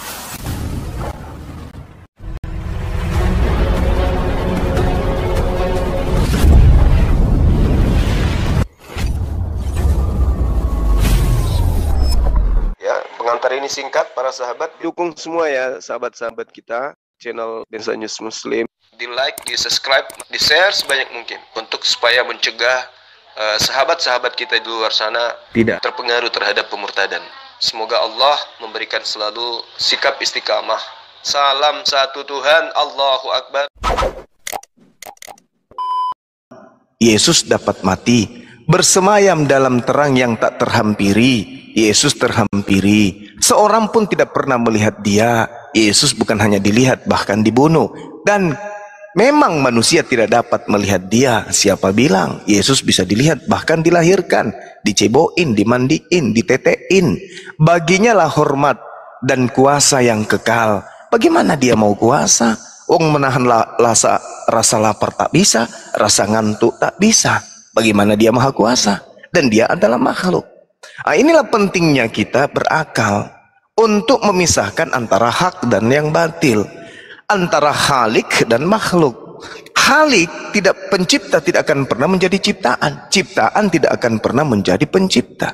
Yang terjadi di Kristen ini adalah Kristen menciptakan Tuhannya sendiri.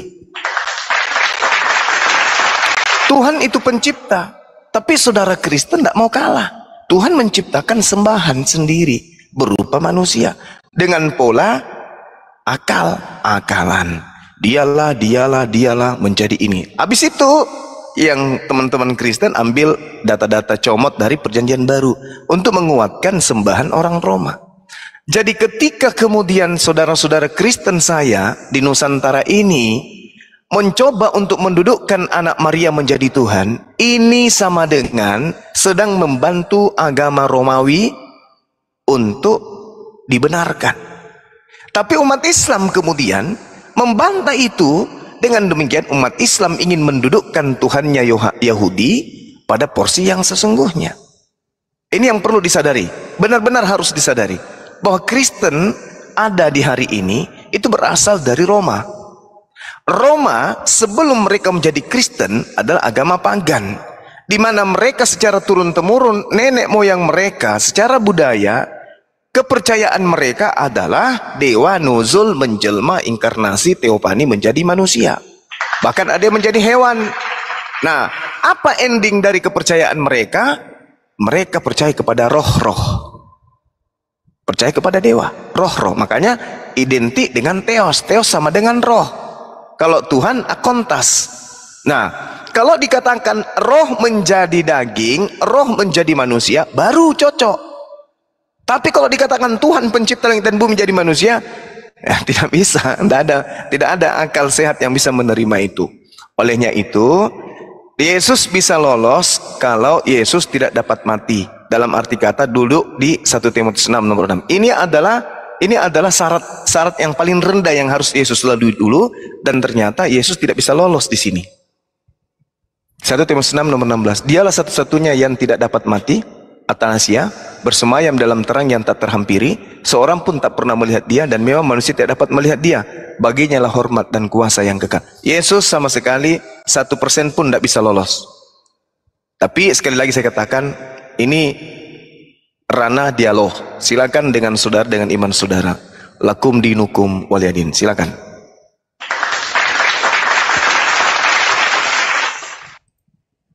Waliadin ya.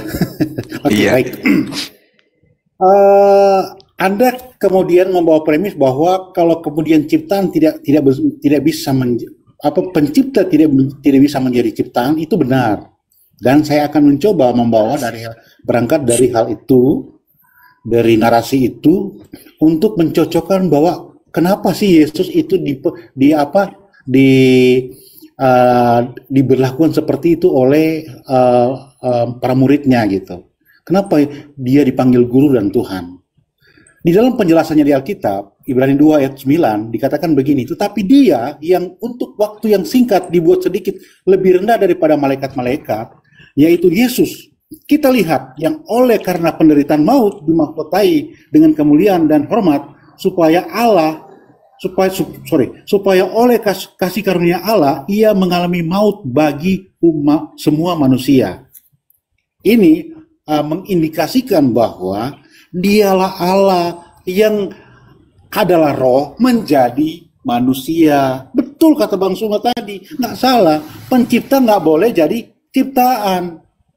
Konsekuensinya kalau kemudian saya percaya bahwa saya ditebus oleh ciptaan, mendingan saya jadi, tidak jadi orang Kristen aja, jadi ateis aja Bang, Bang Suma. Jadi itu konsekuensi yang harus saya terima. Kalau kemudian uh, dalam hal ini konteksnya Allah Yesus itu bukan Tuhan yang yang merendahkan diri jadi manusia itu itu ya sama aja saya kan tidak akan percaya. Tapi kalau dia merendahkan diri jadi manusia untuk menebus sesuai dengan uh, Ibrani 2:9 ini, ya masuk akal, Bang. Memang untuk menalar menalar, menalar Alkitab itu tidak bisa pakai pakai apa namanya hikmat manusia. Untuk menalar Alkitab ya. Kami harus meminta kepada Roh, Roh Kudus untuk supaya mengerti bagaimana penjelasan di dalam, dalam Alkitab itu yang seolah-olah kontradiktif, tapi dia menjelaskan dirinya sendiri. Jadi seperti itu. Oke, silakan Anda dengan narasi Anda, oke, okay, uh, no problem karena tadi uh, apa Waliadin ya apa uh, terakhir Anda bilang begitu tuh. Ya seperti itu. Jadi kalau untuk uh, lebih lanjut lagi, saya pikir ya kita tidak akan sama, akan ada tidak sepakat untuk tidak sepakat. Benar nggak Bang Suma? Iya betul bang betul. Sepakat untuk tidak sepakat betul. Suara saya kedengaran kan? Oke, okay. saya lanjut bang ya. Uh, jadi gini, kalau berbicara mengenai pencipta dalam hal ini Khalik, berarti dia bukan makhluk. Yang namanya Maha itu berarti di atas daripada segalanya. Misalnya hidup kalau hidup, kadang mati. Tanpa roh mati dia. Itu hidup. Yesus posisinya hidup. Cabut roh mati jadi bangkai dia. Yesus suci. Kalau dia kena tersentuh ee, pipis, maka dia najis. Di atas suci ada yang disebut maha suci. Kalau sudah maha suci berarti tidak bisa tersentuh yang najis. Hidup kalau dia tidak ada roh mati. Maha hidup dia tidak butuh roh untuk hidup. Yesus butuh roh untuk hidup. Berarti dia tidak maha hidup. Dia bukan maha hidup.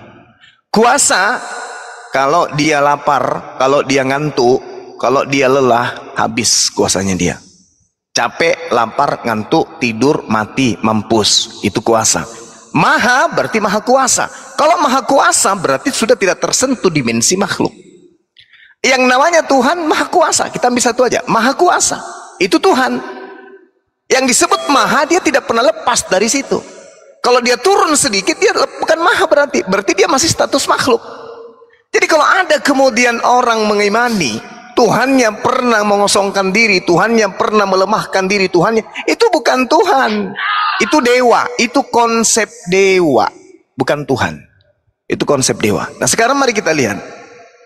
Kejadian 18 14 atau kejadian 28 nomor 3. Allah Maha Kuasa memberkati engkau, Maha Kuasa membuat engkau menjadi banyak sehingga engkau menjadi sekumpulan bangsa-bangsa.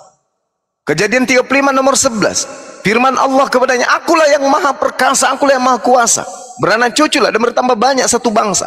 Bahkan sekumpulan bangsa-bangsa akan menjadi daripadamu dan raja-raja akan berasal daripadamu.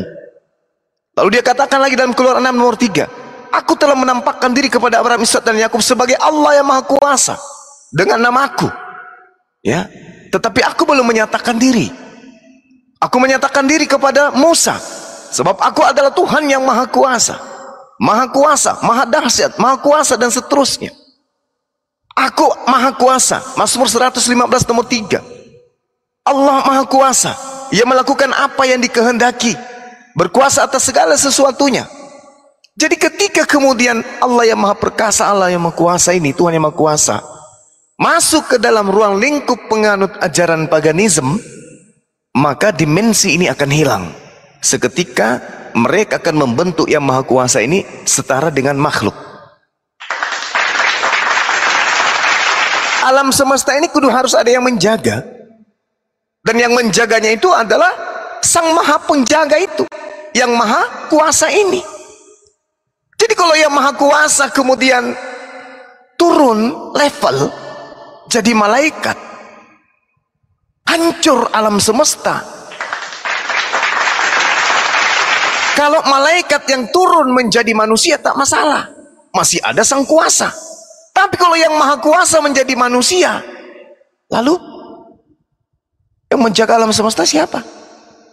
Kan sudah jadi manusia. Tidak ada yang menjaga alam semesta lagi. Sudah menjadi manusia dia. Makanya ketika dia menjadi manusia, kalau dia menjadi manusianya langsung dewasa masih bagus. Langsung berjenggot, langsung berkumis, badannya berotot, kekar, itu masih masih mending kayak Hercules. Tapi kalau dia jadi orok dulu, bahkan masuk ke janin dulu di dalam dulu jadi embrio, ini apa? Konsep apa yang bisa membenarkan ini? Hanya akal-akalan dan iman. Iman saja.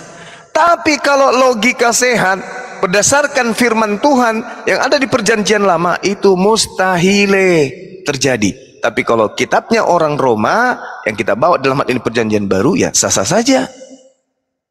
Bagaimana mungkin alam semesta ini yang dijaga oleh hakikat yang maha kuasa, hakikat yang maha kuasa jadi bayi, jadi orok, jadi embrio.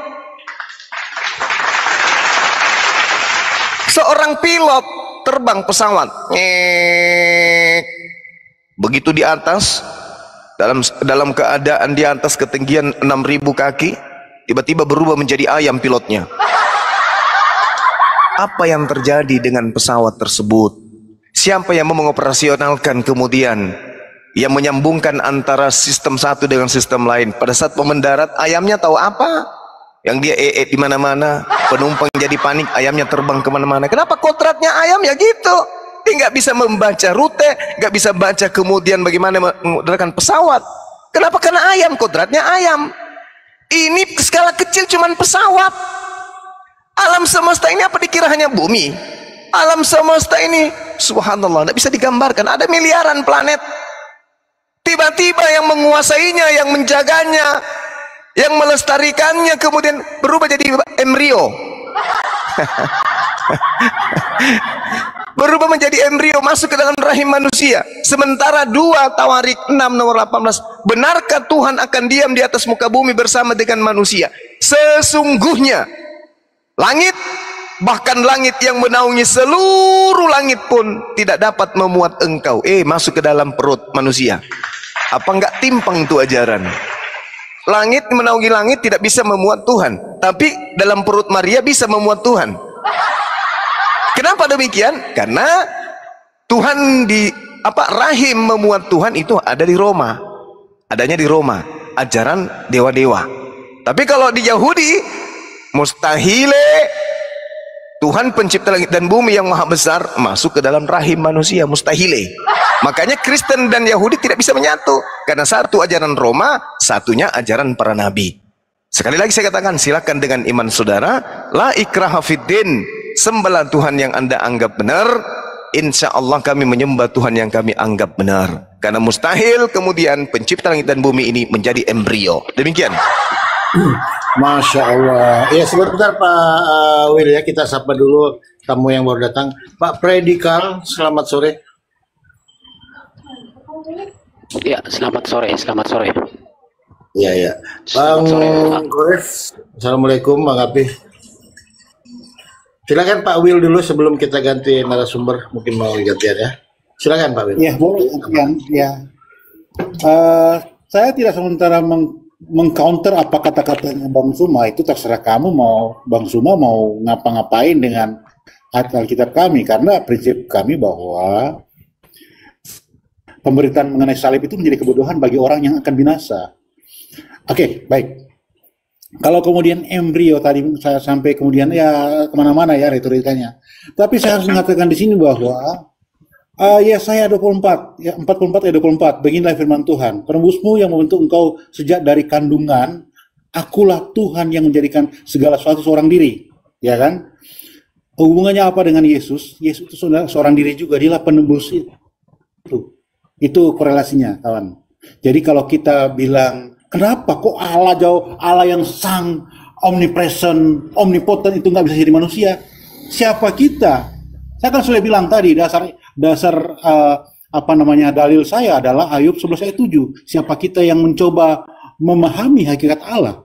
Siapa kita? Nggak bisa. Kita manusia yang penuh keterbatasan untuk mencoba men mensistemikan Tuhan seperti apa, mencoba men memahami Tuhan seperti apa, siapa kita. Tapi Alkitab jelas-jelas mengatakan bahwa dia mengosongkan dirinya, merendahkan dirinya. Jadi hak prerogatif atau kekuasaan Tuhan bisa jadi apa saja. Ketika dia dia dia, dia menjadi pencipta, hak prerogatifnya dia karena dalam rangka penebusan itu aja sih. Dalam rangka penebusan. Kalau kita kemudian merujuk kepada uh, manusia yang di, uh, apa dia itu manusia nggak bisa.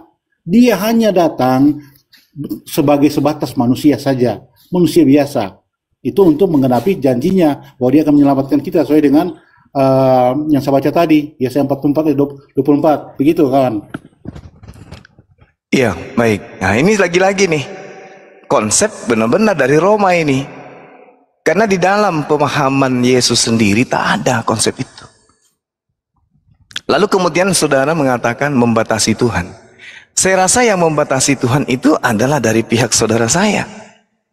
Tuhan Anda, Anda harus batasi menjadi embrio, menjadi bayi, menjadi anak-anak, menjadi remaja, dewasa, menjadi mayat. Anda yang membatasi Tuhan. Bukan saya. Justru saya mengatakan Tuhan itu tidak terbatas. Gak boleh dibatasi Tuhan itu. Dengan Anda mengatakan dia menjadi bayi, anda membatasi Tuhan. Bagaimana bayi bisa menciptakan makhluk lain? Bagaimana bayi bisa kemudian menjadikan alam semesta ini terjaga? Oh, dia sudah jadi bayi. Siapa yang membuatnya menjadi bayi tadi? Anda. Bukan saya. Jangan malah saya yang dituduh.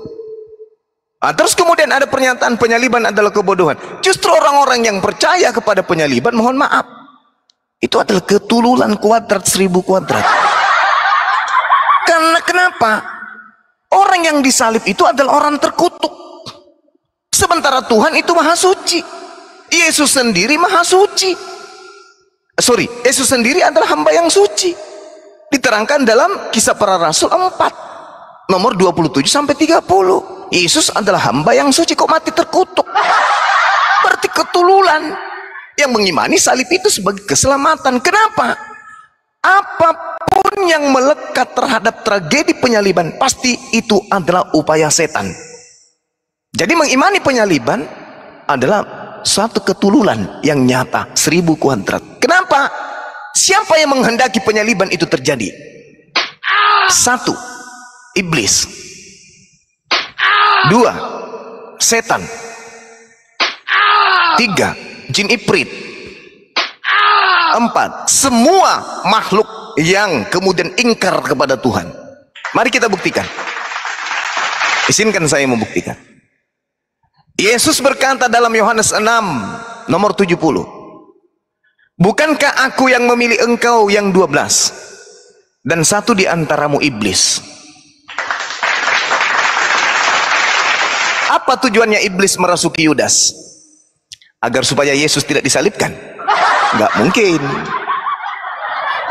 Apa tujuannya kemudian imam-imam kepala membuat tipu muslihat di dalam Matius 26 nomor 4? Supaya Yesus tidak dibunuh? Tidak mungkin. Apa tujuannya imam-imam kepala dan mahkamah agama melakukan tipu muslihat dengan kesaksian-kesaksian palsu? Agar Yesus disalibkan atau agar Yesus tidak disalibkan? Agar Yesus tidak disalibkan? Oh, tidak mungkin. Kenapa imam kepala? Kenapa mahkamah agama? Kenapa orang Farisi? Kenapa ahli Taurat kemudian iri, dengki, bikin tipu muslihat, bikin kesaksian-kesaksian palsu? Karena pada diri mereka tidak ada iblis. Oh, tidak mungkin. Mereka iri, mereka cemburu, mereka terhasut, mereka bikin kemudian kejahatan, mereka sepakat membuat mupakat makar, mereka kemudian membuat kesaksian-kesaksian palsu, mereka membuat sepakat untuk men menyelesaikan Yesus itu karena mereka kerasukan setan. Yudas mengkhianati Yesus karena kerasukan setan. Apa tujuan setan merasuki Yesus? Apa tujuan setan merasuki imam kepala mahkamah agama, orang Farisi dan ahli Taurat? Untuk membunuh Yesus. Bagaimana caranya membunuh Yesus? Disalibkan. Apa tujuannya Yesus disalibkan? Untuk mengaminkan, memuluskan keinginan siapa? Iblis atau Tuhan? Siapa yang menginginkan kemudian penyaliban? Tuhan atau iblis? Iblis. Jadi kalau anda mengatakan penyaliban itu adalah suatu kebodohan, memang kebodohan bagi yang mengimaninya. Kenapa? Satu, camkan baik-baik. Yesus berkata di dalam Matius 12, angkatan jahat ini minta satu tanda. Dan tidak akan diberikan satu tanda pun kecuali tanda Yunus. Sebab, tiga hari tiga malam Yunus di perut ikan, demikian juga anak manusia tiga hari di perut, tiga hari tiga malam di perut bumi. Ini tanda apa? Tanda jahat, angkatan jahat. Lalu bagaimana caranya dia masuk ke dalam perut bumi? Diawali dengan penyaliban. Jadi penyaliban ini adalah tanda untuk angkatan jahat. Siapa yang mengimani itu? Kristen. Berarti Kristen ini adalah angkatan jahat. Sederhana kok itu, Pak. Sederhana itu, Pak. Kalau polanya akal, bukan iman. Jadi 10 detik terakhir saya katakan, mustahil pencipta langit dan bumi ini bisa dibatasi oleh orang Kristen. Kalaupun orang Kristen berkongko-kongko dengan semua makhluk di atas muka bumi ini, setan, iblis, malaikat, kerubim atau apa pun itu mereka berkongko-kongko untuk membatasi pencipta langit dan bumi agar menjadi embrio, agar menjadi bayi, itu tidak akan mungkin. Kenapa? Tuhan Maha Kuasa, Maha Kuasa, tidak bisa dibatasi, apalagi mau dianggap menjadi mayat. Demikian, Pak.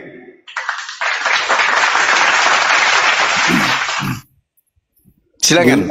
Saya uh, closing statement sekaligus mau turun. Iya, silakan. Ya. Bang Suma, ya terima kasih ya sudah sedikit Iya. Uh, saya saya tidak kemudian mengcounter Anda, tapi narasi ada satu narasi di sini yang mengatakan bahwa Yesus itu maha suci. Benar, Anda sendiri mengatakannya. Yang maha suci yang Maaf tadi diralat itu Pak. Maaf Ralat, Pak, diralat. Jangan di framing Pak. Ya, Oh, enggak, Dikoni. Oh, salah salah ngomong ya. Ya, Tapi salah. Roh Kudus memang bekerja, Pak. Begini, kalau kemudian Anda bilang itu tidak mungkin, bagi Allah apa sih yang tidak mungkin? Apa sih apa sih yang tidak mungkin bagi Allah? Kalau kemudian kita mengatakan dia omnipotent, omnipresent, itu itu dia bisa apa saja. Itu kalau kalau kemudian kita membatasi di- dia kan sebenarnya membatasi kita, membatasi dia itu kita sendiri dengan pola pikir kita sendiri. Tapi Alkitab jelas-jelas menyatakan dia adalah satu-satunya juru selamat. Ya, sesuai dengan uh, Yesaya 43 ayat 11. Kemudian di dalam Timo 1 Timotius 16 ayat 1 16 ayat 1 Timotius 1 ayat 16 ya. Gini, dan sesungguhnya agunglah rahasia kita, dia yang telah menyatakan dirinya dalam rupa manusia, toh, dibenarkan dalam rupa roh yang menampakkan dirinya kepada malaikat-malaikat, diberitakan di antara bangsa-bangsa yang tidak mengenal Allah. Apakah Bah, cantiknya itu bentuk ya? Apakah kemudian kita saudara kepada orang-orang yang tidak mengenal Allah? Uh, Noise, noise. noise. atas yang kosong Bo- bocor-bocor. ya, apakah kemudian kita di, di- termasuk di dalam orang yang tidak mengenal Allah? Silakan kita menilai diri diri kita sendiri. Tapi intinya, endingnya saya mau bilang bahwa Yesus Yesus yang yang pada suatu ketika merendahkan diri dalam konsep penebusan itu tidak ada tidak ada manu- satu manusia pun yang bisa membatasi hal itu. Kalau kemudian itu kenapa dia harus jadi embrio dan sebagainya itu itu itu itu bukan kehendak manusia tapi kehendak Tuhan yang ingin kita selamat Bang Suma. Ingin kita, ingin Tuhan Yesus datang sebagai manusia mati dan dikuburkan, bangkit pada hari ketiga, masuk ke dalam uh, apa namanya? alam uh, apa maut itu untuk berkatakan Injil kepada orang-orang di sana itu kehendak Tuhan bukan kehendak manusia. Kalau anda bilang itu itu uh, pelajaran dari Roma itu itu apa namanya itu paham dari Roma dan sebagainya itu It- saya saya hanya kembali ke Alkitab. Apa kata Alkitab? Bahwa dia dia sedang menjelaskan kepada kita bahwa dialah sat- satu-satunya Tuhan yang menyelamatkan kita. Di luar daripada dia kita tidak selamat. Itu intinya. Terima kasih kepada teman-teman semua. Terima kasih host kita sudah dalam keadaan tertib semua untuk ber tidak ada saling menyerang satu sama lain dan terima kasih atas kesempatan ya. Eh, saya mohon diri ya, shalom semuanya ya. Oke Pak, eh, sebentar Pak, kita mau ambil poinnya dulu. Jadi tadi hasil dialog kita sedikit dengan Bang Suma bahwa poin yang saya dapat dari Bang Suma sendiri bahwa penyaliban atas eh, diri Yesus adalah keinginan iblis ya, betul ya Bang Suma? Lalu Iya. sedikit Pak Will ya, eh, sebelum Anda turun saya meminta klarifikasi bahwa Anda menyatakan yang ada di dalam rahim Bunda Maria itu adalah Tuhan, betul? Betul betul. Yang dilahirkan manusia bernama Bunda Maria adalah Tuhan, betul? Iya iya betul. Oke, jadi poinnya manusia melahirkan Tuhan, betul? Iya betul betul. betul. Oke, silakan Anda menilai teman-teman yang ada di bawah ya. Oke, terima kasih Pak Will ya. Ya terima kasih ya semuanya ya, Bang Oke. Suma, makasih. Ya, makasih Bang, makasih. Iya. Silakan terus. Saya ulang lagi.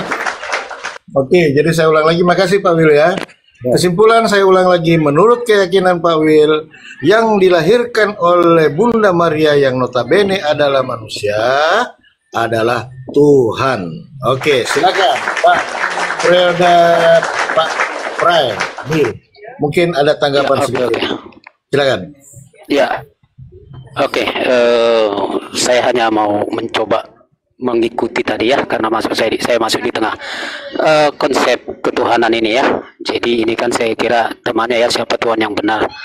Lagi eh, di dalam kekristenan apa yang disebut sebagai Tuhan itu sebenarnya itu bukan sebuah rekayasa, bukanlah sebuah ciptaan, tetapi bagi kami Allah itu hanya bisa dijelaskan sebagaimana Allah atau Dia menyatakan dirinya. Ketika Dia menyingkapkan dirinya, maka sedemikianlah kita bisa mengenal Dia. Bagaimana kita bisa mengenal Allah? Sebenarnya bagi kami ada yang disebut dengan wahyu umum, ada wahyu khusus. Wahyu umum itu dari semesta, dari tatanan, aturan, dan segala macam kita bisa bilang, oh berarti ada Tuhan. Tetapi itu bersifat umum dan tidak menyelamatkan. Tetapi ada yang disebut dengan wahyu khusus, dan wahyu khusus ini adalah melalui diri Yesus itu sendiri dan juga melalui Alkitab. Jadi dua hal ini adalah sebagai penyataan diri Allah kepada ciptaannya. Sehingga apa pun yang kita terangkan, saya jelaskan, ketika kita berdasarkan biblikal atau kitab suci, yaitu sah-sah saja. Jadi jangan dianggap bahwa itu adalah agama pagan agama pagan itu kan baru kita sebutkan mungkin tadi semacam tuduhan-tuduhan dari Roma dan segala macam. Zaman Yesus itu sampai dianggaplah zaman para rasuli saya kira Roma itu justru menekan kekristenan tidak memberikan sumbangsi seperti yang mungkin dianggap seperti Katolik Roma. Nah lagi bagaimana konsep Tuhan? Berarti adalah sebagaimana Alkitab menyatakannya Nah, bagaimana Alkitab menyatakannya?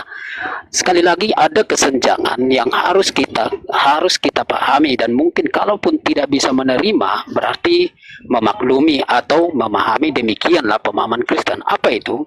Bahwa kekristenan sekali lagi agak berbeda pemahamannya dengan apa yang disebut dengan monoteisme baik itu muslim maupun Yahudi monoteisme Muslim dan Yahudi dengan kami berbeda. Apakah Kristen kami atau kami monoteisme? Yes, kami monoteisme.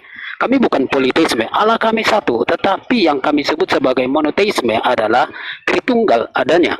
Sehingga ketika tidak memahami dengan istilah Tritunggal ini, kami sering kali dituduhkan bahwa kami monoteisme. Sehingga eh, implikasinya begini kalau Allah itu sudah datang jadi bayi, jadi orok dalam kandungan, berarti seolah-olah surga itu sedang kosong.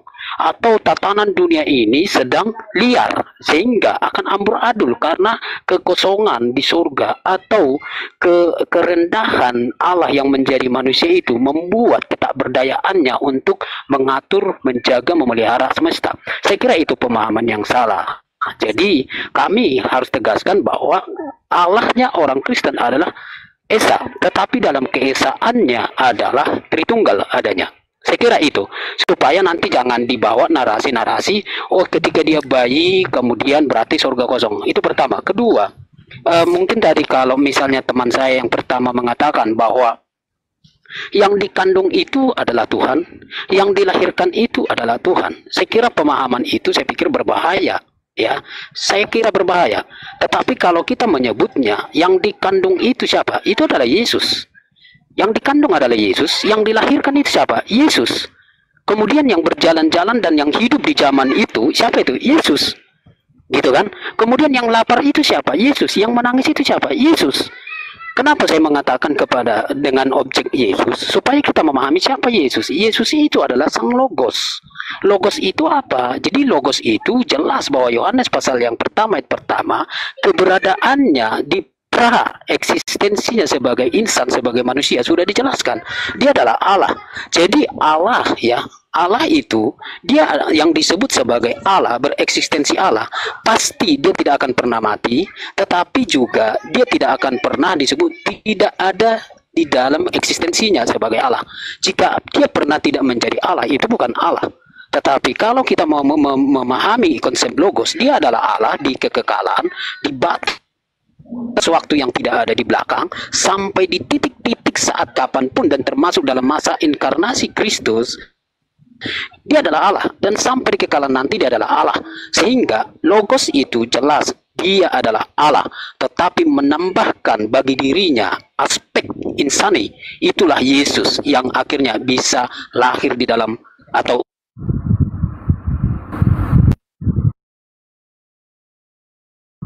harus memahaminya logos dengan konsep dia adalah Allah yang sempurna tetapi dia juga memiliki sifat insani yang sempurna. Itu dulu dari saya. Makasih. Baik, baik, baik Pak. Poinnya didapat. Jadi uh, sebelum ditanggapi Bang Suma ada yang baru saya dapat ini istilah wahyu apa tadi? Wahyu khusus dengan wahyu umum ya. Uh, saya setahu saya biasanya ada WC umum, kok ini ada wahyu umum lagi. Silakan Bang Suma, lanjut. Iya. Jadi saudara sedang mempermainkan dua peran dalam satu tubuh Anda, satu pribadi Anda. Berperan sebagai paganism dan berpegang sebagai manusia sehat. Bagus. Ketika Anda mengatakan logos sama dengan Allah. Allah di sini maksudnya teos ya, bukan kepada Allah. Teos ini roh. Logos adalah roh, roh adalah logos. Logos adalah roh, roh adalah logos. Yohanes 4 nomor 24. Teos itu adalah roh. Berarti logos ini adalah roh. Teos ini adalah roh, roh ini adalah logos. Logos sama dengan teos, teos sama dengan logos. Roh telah menjadi daging. Bukan menambahkan. Jadi jangan Anda yang menambahkan tidak menambahkan tetapi yang tadinya roh menjadikan dirinya berubah wujud menjadi daging. Pada mulanya adalah logos. Logos itu bersama-sama dengan roh. Roh itu adalah logos. Logos itu adalah roh. Roh itu adalah logos itu sendiri. Nah si roh menjadi daging. Jadilah Yesus. Inilah Tuhan anda nih. Apakah ini bisa disifati ajaran tauhid Tak bisa. Disifati ajaran para nabi, tak bisa juga. Bagaimana dengan ajaran Yesus? Aku datang bukan atas kehendakku sendiri. Nah, berarti kena dong. Kalau Yesus itu bukan teos.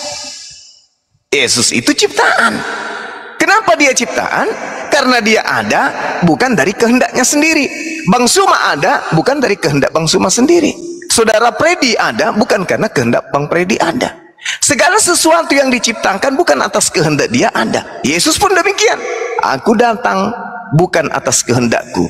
Beh, artinya Yesus ciptaan. Ini baru logika sehat. Kalau yang tadi itu paganisme. Tuhan, siapa yang makan? Yesus. Siapa yang minum? Yesus. Siapa yang tidur? Yesus. Siapa yang tidur apa? Siapa yang mati? Yesus. Lah memang Yesus namanya Yesus, tapi dia manusia, hakikatnya manusia, makanya dia demikian. Tuhan tidak bisa seperti itu, kecuali agama pagan yang konsepnya penganut ajaran dewa-dewa. Dewanya men menjadi binatang boleh, dewanya menjadi manusia boleh. Dewa menjadi dewa perempuan boleh, binatang boleh. Itu di dalam ajaran paganisme. Tapi ajarannya Yesus jelas Yohanes 8:42 Aku datang bukan atas kehendakku sendiri Kamu pergi atas kehendakmu sendiri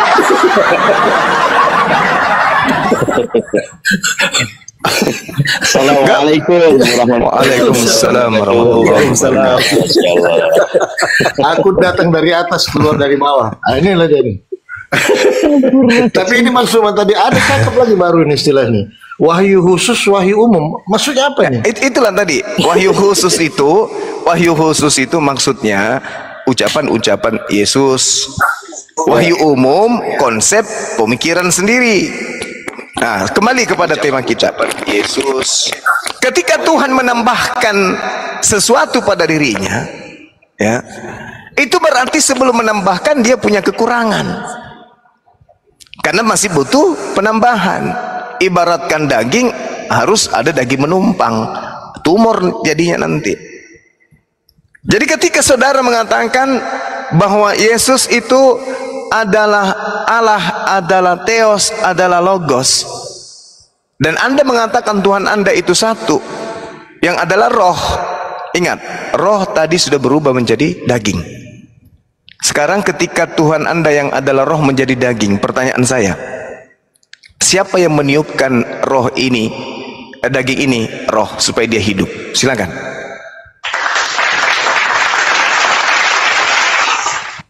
Oke, baik.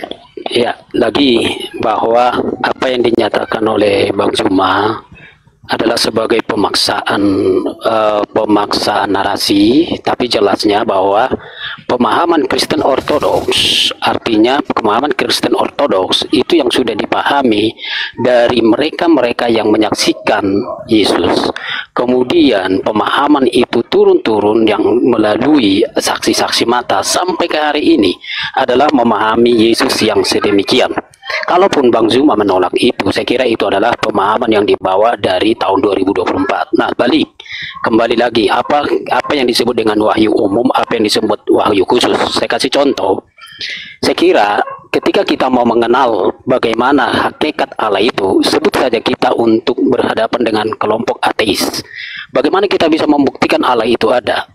Ketika mereka tidak bicara, tidak percaya ke kitab suci atau Allah mana pun, kita hanya bisa membicarakannya dari wahyu umum. Contoh, wahyu umum itu adalah bagaimana matahari ada, bagaimana bumi itu ada. Itu namanya wahyu umum. Dan di dalam Roma pasal yang pertama itu pernah bahwa ketika melihat semesta ini, melihat keteraturan semesta ini, orang tahu bahwa ada yang mengatur, ada yang menatanya. Itu yang disebut wahyu umum. Itu tidak perlu, itu tidak perlu harus menjadi Kristen dalam pemahaman kami untuk mengenal itu, mengerti itu. Umum pun tahu. Nah, tetapi yang disebut dengan wahyu khusus itu adalah pemahaman bagaimana kita bisa mengenal Allah yang bisa menuntun kita sampai kepada kebenaran, sampai kepada titik penyelamatan itu tidak lain dan bukan tidak adalah melalui Yesus Kristus dan melalui Alkitab. Itu yang disebut wahyu khusus. Jadi orang bisa sadar Allah itu ada tanpa Alkitab, tanpa menjadi orang Kristen. Tetapi untuk bisa sampai kepada titik penyelamatan, titik kesadaran akan dosa dan kemudian masuk ke dalam aspek mendapatkan kehidupan kekal, ia harus mengenal Alkitab, harus tahu Alkitab dan sampai pada titik mengenal Yesus. Saya kira itu untuk wahyu umum, wahyu khusus. Walaupun itu berupa pemahaman yang baru, ya silakan saja. Nah, kemudian bagaimana tadi pertanyaan Bang Zuma, ya, kok bisa ada di dalam dalam rahim Maria kok ada kok ada benih di sana? Ya kita tahu bahwa di dalam perjanjian lama setelah manusia jatuh ke dalam dosa di dalam kejadian pasal 3 ayat 15 itu bahwa penebusan penyelamatan itu adalah inisiatif Allah itu sendiri. Dia yang menyatakannya bukan manusia dan bukan iblis. Tetapi Allah yang berinisiatif bahwa akan ada penebusan. Dan ternyata penebusan itu adalah melalui benih ya benih dari seorang perempuan. Maka adalah sebuah keunikan, keunikan yang tidak pernah ada di muka bumi ini bahwa ada seorang manusia yang bukan karena dari sang laki-laki atau bukan karena hubungan biologis. Di dalam Matius pasal yang pertama 18 itu, itu jelas yang membangun membangun keinsanian yang ada di dalam rahim Maria itu adalah dari satu unsur, itulah Roh Kudus. Dan di dalam di dalam Lukas pasal yang pertama pun adalah menjadi sebuah pertanyaan logis dari seorang manusia yang diwakili oleh Maria. Dia berkata, bagaimana hal itu mungkin terjadi? Sebab aku belum pernah dijama oleh seorang laki-laki. Artinya, tidak pernah disentuh, apalagi sampai berhubungan badan. Tapi kok ada satu yang disebut di dalam rahimnya bahwa ada di sana uh, Yesus ya atau uh, embrio saya sebutlah janin Yesus itu bahwa ia mengandung ya Yesus itu Maria sudah mengatakan bagaimana hal itu mungkin terjadi dan malaikat menyampaikan bagi Allah tidak ada yang mustahil. Jadi ada satu satu yang terjadi di dalam diri Yesus sebagai hal yang unik, bukan dari pertemuan antara uh, sperma dan sel telur, tetapi murni itu adalah dari Roh Kudus. Nah, itu adalah pribadi kedua dari Tritunggal. Itulah Yesus itu. Kenapa harus menjadi demikian? Kenapa tidak mendadak jadi Hercules, jadi perkasa, jadi mungkin yang bisa dikatakan seperti tokoh-tokoh legenda apa ini, mitos mitologi Yunani? Bisa saja. Tetapi kenapa tidak mengambil jalan itu? Sebab Yesus mau menyatakan bahwa dia harus sama, ya, bahwa Allah, ya Allah pribadi kedua dari Tunggal itu untuk menjadi penyelamat dia harus sama dengan yang diselamatkan. Kenapa? Sebab konsekuensi dosa konsekuensi dosa yang dialami oleh manusia adalah bahwa manusia harus mati, maka hukuman itu harus jatuh kepada manusia. Nah, itu sebabnya di dalam Mazmur pasal 49 ayat yang ke-9 dan 10 itu tidak bisa seorang manusia pun untuk menyelamatkan dirinya sebab terlalu besar, terlalu berat konsekuensi dan tuntutan dari dosa itu. Maka yang harus hadir adalah Allah sendiri dan harus mengambil rupa manusia yang akan ditebus itu dia menjadi manusia. Dan untuk menunjukkan bahwa dia adalah manusia yang sama dengan kita mengalami segala sesuatu kecuali dalam hal dosa itu maka dia harus lahir mulai dari embrio rahim eh sorry embrio janin kemudian sampai ke bayi lahir bayi kemudian sampai besar dan mati. Jadi itu adalah proses alamiah yang harus dialami Yesus sebagai pribadi kedua dari Tritunggal dan saya pikir tidak ada hal yang terlalu sulit untuk melakukan hal itu sebab di dalam perjanjian lama pun pernah ada yang kami sebut sebagai ya teofani ya teofani atau Allah yang mengambil rupa manusia yang pernah beberapa kali di dalam kasus-kasus dalam perjanjian lama itu bisa saja tetapi itu tidak untuk penebusan itu hanyalah sebagai untuk menyatakan diri menjumpai ke objeknya. Tapi okay. kali ini Allah dalam rupa Yesus itu harus menjadi manusia untuk bisa baik. menyentuh konsekuensi dosa penebusan yang sempurna. Oke, makasih. Baik, baik Pak. Baik, baik Pak Wahyu ya. Eh Pak Wahyu, ah, sorry sorry. Pak Prat ya. Silakan Bang semua, lanjut. Iya. Tolong jelaskan ke saya, tapi jangan terlalu panjang. Di mana kehendak Bapak agar Yesus itu mati untuk menebus dosa manusia. Sekali lagi saya katakan, di mana kehendak Bapa, di mana kehendak Allah agar manusia datang untuk menebus dosa-dosa orang Romawi. Contoh, sebelum Yesus lahir, sebelum Yesus kemudian dibunuh, ada seorang Roma memperkosa saudara kandungnya sendiri yang lagi hamil. Lalu kemudian ditusuknya lah rahim saudaranya tersebut tembus ke anaknya di dalam mate. Tidak puas dengan itu, ditebaslah lagi kakak saudara perempuannya ini karena teriak-teriak. Datanglah ibunya dari belakang melerai, jangan kau bunuh, itu adalah kakakmu sendiri. Ditebas pula ibu kandungnya, mate juga. Datang lagi bapaknya, bapaknya juga minta tol, minta supaya jangan ditebas juga lihat mate juga.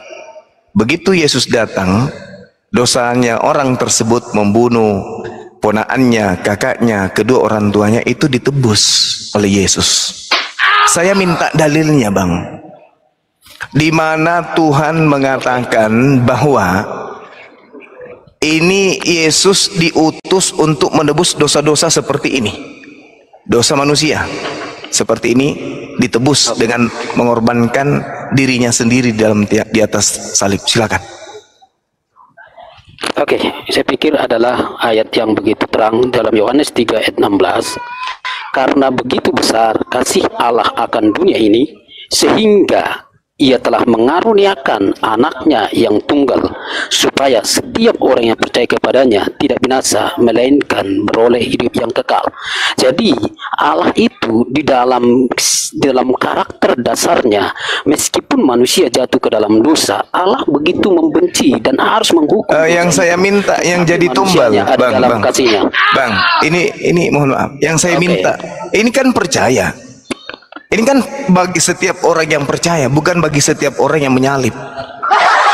Yang saya minta, di mana dalilnya bahwa dosa-dosa seperti ini Tuhan hapuskan melalui pembunuhan terhadap Yesus yang dikasihi. Silakan. Oke, okay, baik. Tapi jelas saya akan uh, Yohanes 3:16 lalu akan saya berubah uh, bergeser ke ayat yang lain. Yohanes 3:16 kembali saya katakan Coba diperhatikan kata-kata yang ada di situ yang dimulai dengan karena. Begitu besar kasih Allah akan dunia ini. Sehingga ya sehingga ia mengaruniakan anaknya yang tunggal ya. Jadi kasih itu sebagai dasar. Lalu oleh karena kasih itu maka kata sehingga mempertegas ya mempertegas tindakan yang berikutnya akibat dari kasih itu lalu mengaruniakan anaknya. Jadi saya pikir itu adalah bagian dari apa yang ditanyakan Bang Zuma nah lanjut. Di dalam di dalam Yesaya pasal 53 pun sangat jelas bagaimana derita seorang hamba itu bahwa memang akan ada seorang seorang yang hamba seorang hamba yang akan menderita dan yang akan akhirnya mengalami aniaya dan segala macam dan kemudian ia akan terbunuh. Tetapi semuanya itu adalah karena penebusan. Demi penebusan tulah itu ditimpakan. Tulah itu dari Allah. Sebuah konsekuensi dari sebuah kejahatan atau salah manusia. Lalu tulah itu akan ditimpakan kepada uh, sang hamba itu. Ya dan hamba itu akan menderita. Jadi apa yang dialami oleh sang hamba itu adalah sebagai konsekuensi dari dosa dari penghukuman akan dosa itu Oke. saya 53 oke Oke, baik. Jadi Tuhan sudah merencanakan pembunuhan si ibu, si ayah, si saudara karena sudah merancang adanya penebusan dari Yesaya yang kitab sudah jauh. Begitu maksudnya. Jadi Tuhan sudah merancang ini sehingga orang-orang termasuk yang membunuh ibunya, membunuh anaknya sendiri dan seterusnya itu sudah dirancang semuanya sampai harus ngais-ngais ke Yesaya 53 itu. Padahal kalau saudara ini melepaskan cangkang Roma, itu tidak akan pernah Anda bisa ucapkan. Anda malu mengatakan itu. Malu. Kita lihat Yohanes 3 nomor 16 Karena begitu besar kasih Tuhan akan dunia ini Sehingga ia mengeruniakan hambanya yang tunggal Supaya setiap orang yang percaya kepadanya tidak binasa Percaya Bagaimana poin percayanya? Di dalam Matius 17 nomor 5 Inilah anak yang kukasihi Kepadanya lah aku berkenan Dengarkanlah dia Berarti Yesus yang harus didengarkan, bukan Anda. Yesus di dalam Matius 19 ketika ditanya, "Guru, bagaimana caranya saya bisa masuk surga?" Yesus mengatakan, "Jangan kau membunuh." Lah tadi seorang anak membunuh saudaranya, membunuh kedua orang tuanya, bahkan membunuh janin. Ini apa polanya yang bisa menyelamatkan dia? Tiba-tiba, oh Yesus harus mati di atas tiang salib. Percaya dia. Apa hubungannya? Bahkan kalau kita lihat Matius 17 nomor 5, inilah anak yang kukasihi. Kepadanya lah aku berkenan, dengarkanlah dia. Nah, anak yang dikasihi, hamba yang dikasihi, menurut perjanjian lama, ini diapain? Dibunuh. Anak yang dikasihi ini harus dibunuh gitu. Anaknya yang dikasihi harus dibunuh. Mana dalilnya? Inilah anakku yang kukasihi. Aku bunuh demi dosa-dosa kalian. Mana? Yang kita cari itu. Kenapa? Karena satu, Keluaran 23 nomor 7, jangan kau membunuh orang yang benar. Jangan kau membunuh orang yang tidak bersalah. Nah sekarang anak tadi membunuh orang tuanya orang benar tapi dibunuh. Yesus orang benar, Yesus orang dikasihi, dibunuh juga. Jadi konsep pembenarannya mana? Dosa waris itu mana? Bahwa dosa-dosa orang Kristen, orang Roma ini ditebus dengan membunuh orang di atas tiang salib itu konsepnya dari mana? Ini yang kita minta. Anda masuk ke Yesaya 53. Di situ tidak ada orang Roma di situ, Bang. Yesaya 53 itu bercerita tentang orang Yahudi, Israel, penderitaan mereka ketika mereka di masa pembuangan. Kita di situ bukan orang Kristen, kita di situ Bani Yakob. Jangan diambil-ambil datanya orang. Yang kita minta sekarang ini yang tegas, yang tegas bahwa orang bahwa Tuhannya Kristen datang ke dunia menjadi bayi untuk menebus dosa orang Kristen. Apa pola yang orang Kristen bisa jadikan sebagai acuan? Mana dalilnya? Kenapa? Karena di ajaran Yesus, imamat satu nomor dua, sampaikan kepada orang Israel, apabila mereka ingin mempersembahkan korban tebusan kepada Elohim, hendaklah mereka mempersembahkan hewan ternak dari domba, kambing, sapi, lembu. Mana manusia? Sedangkan yang di, yang mempersembahkan manusia itu hanya dewa Molok. Nah sekarang tolong sekali lagi saya pertanyakan sekali lagi tolong tunjukkan di mana kehendak Bapak membunuh orang yang suci demi untuk menghapuskan dosa-dosa laknatullah yang membunuh ibu dan bapaknya tadi. Silakan. Sekali lagi. Sekali lagi saya mengulang bahwa apa yang ada di dalam diri Yesus baik dari kelahirannya kemudian bagaimana dia di dalam proses kehidupan, ucapan dan karyanya sampai kematian kebangkitannya, Yesus berani mengklaim bahwa dirinya adalah menggenapkan apa yang ada di dalam perjanjian lama, apa yang dinubuatkan.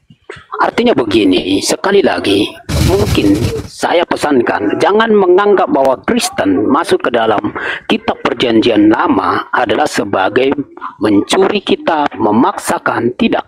Baik pengajaran Yesus sendiri maupun para rasul dan semua penulis-penulis PB, perjanjian baru maksud saya, bahwa mereka selalu melihat bahwa apa yang dinyatakan di dalam perjanjian lama, mereka kutip.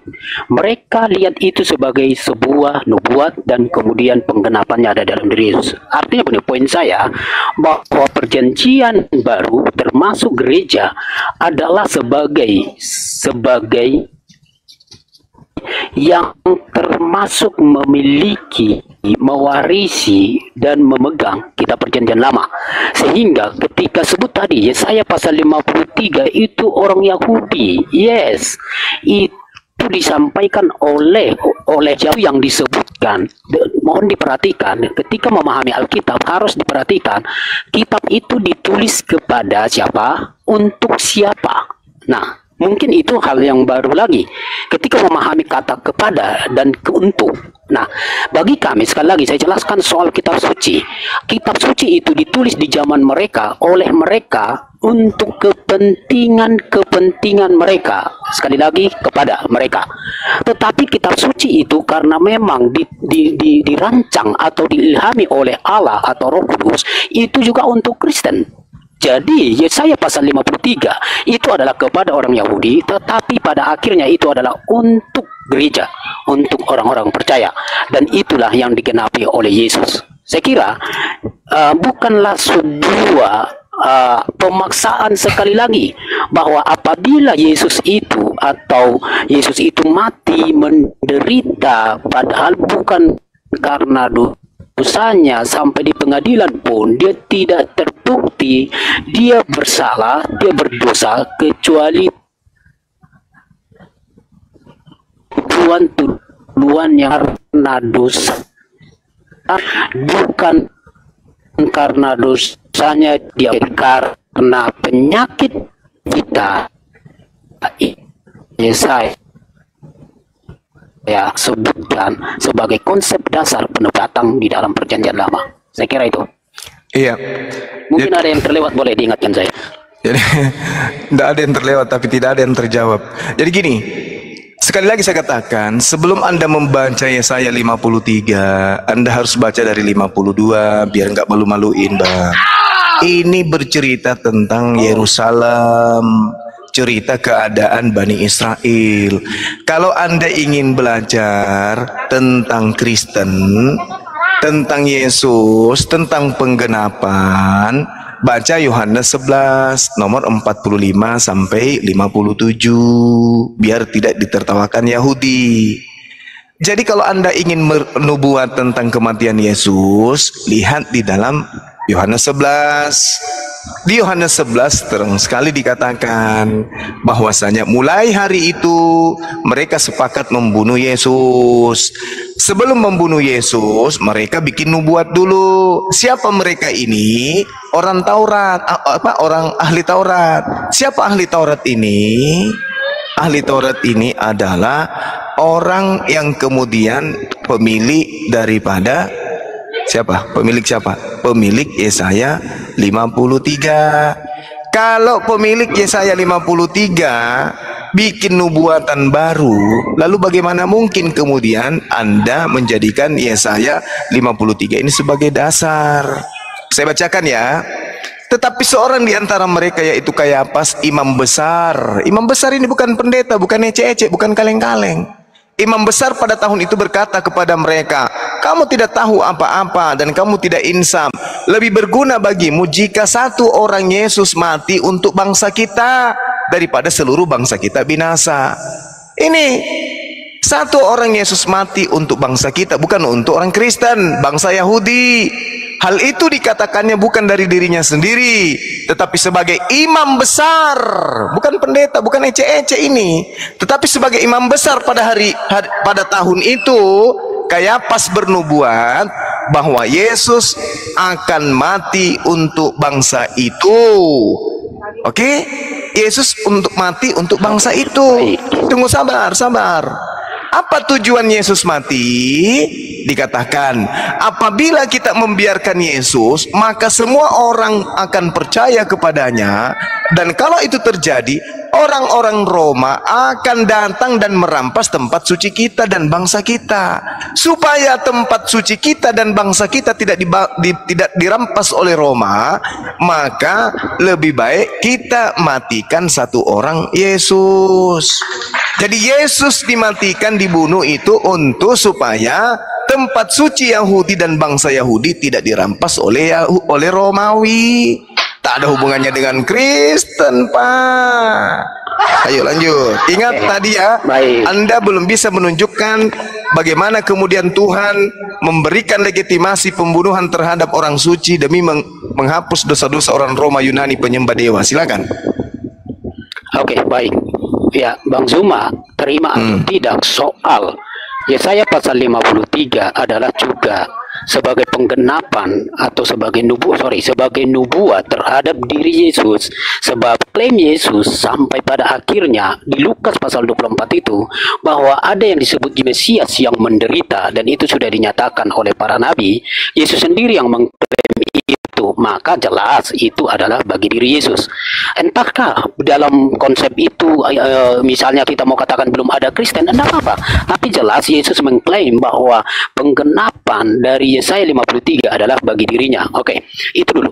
Kemudian uh, uh, saya lupa pertanyaan apa lagi. Kemudian soal apa ya saya lupa. Mungkin Bang Zuma ada apa lagi? Saya harus jawab. Itu ini Bang. Uh, tentang firman Tuhan yang terkait dengan ini dosa orang-orang itu ditebus dengan membunuh orang yang suci itu di mana dalilnya?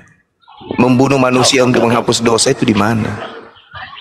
Ya, jadi begini, lagi apa yang dikatakan di dalam di dalam konsekuensi dosa, konsekuensi dosa mungkin ini berbeda atau sama dengan agama lain saya tidak tahu. Tetapi saya katakan dulu yang di Kristen bahwa ketika manusia jatuh ke dalam dosa, maka manusianya yang harus mati.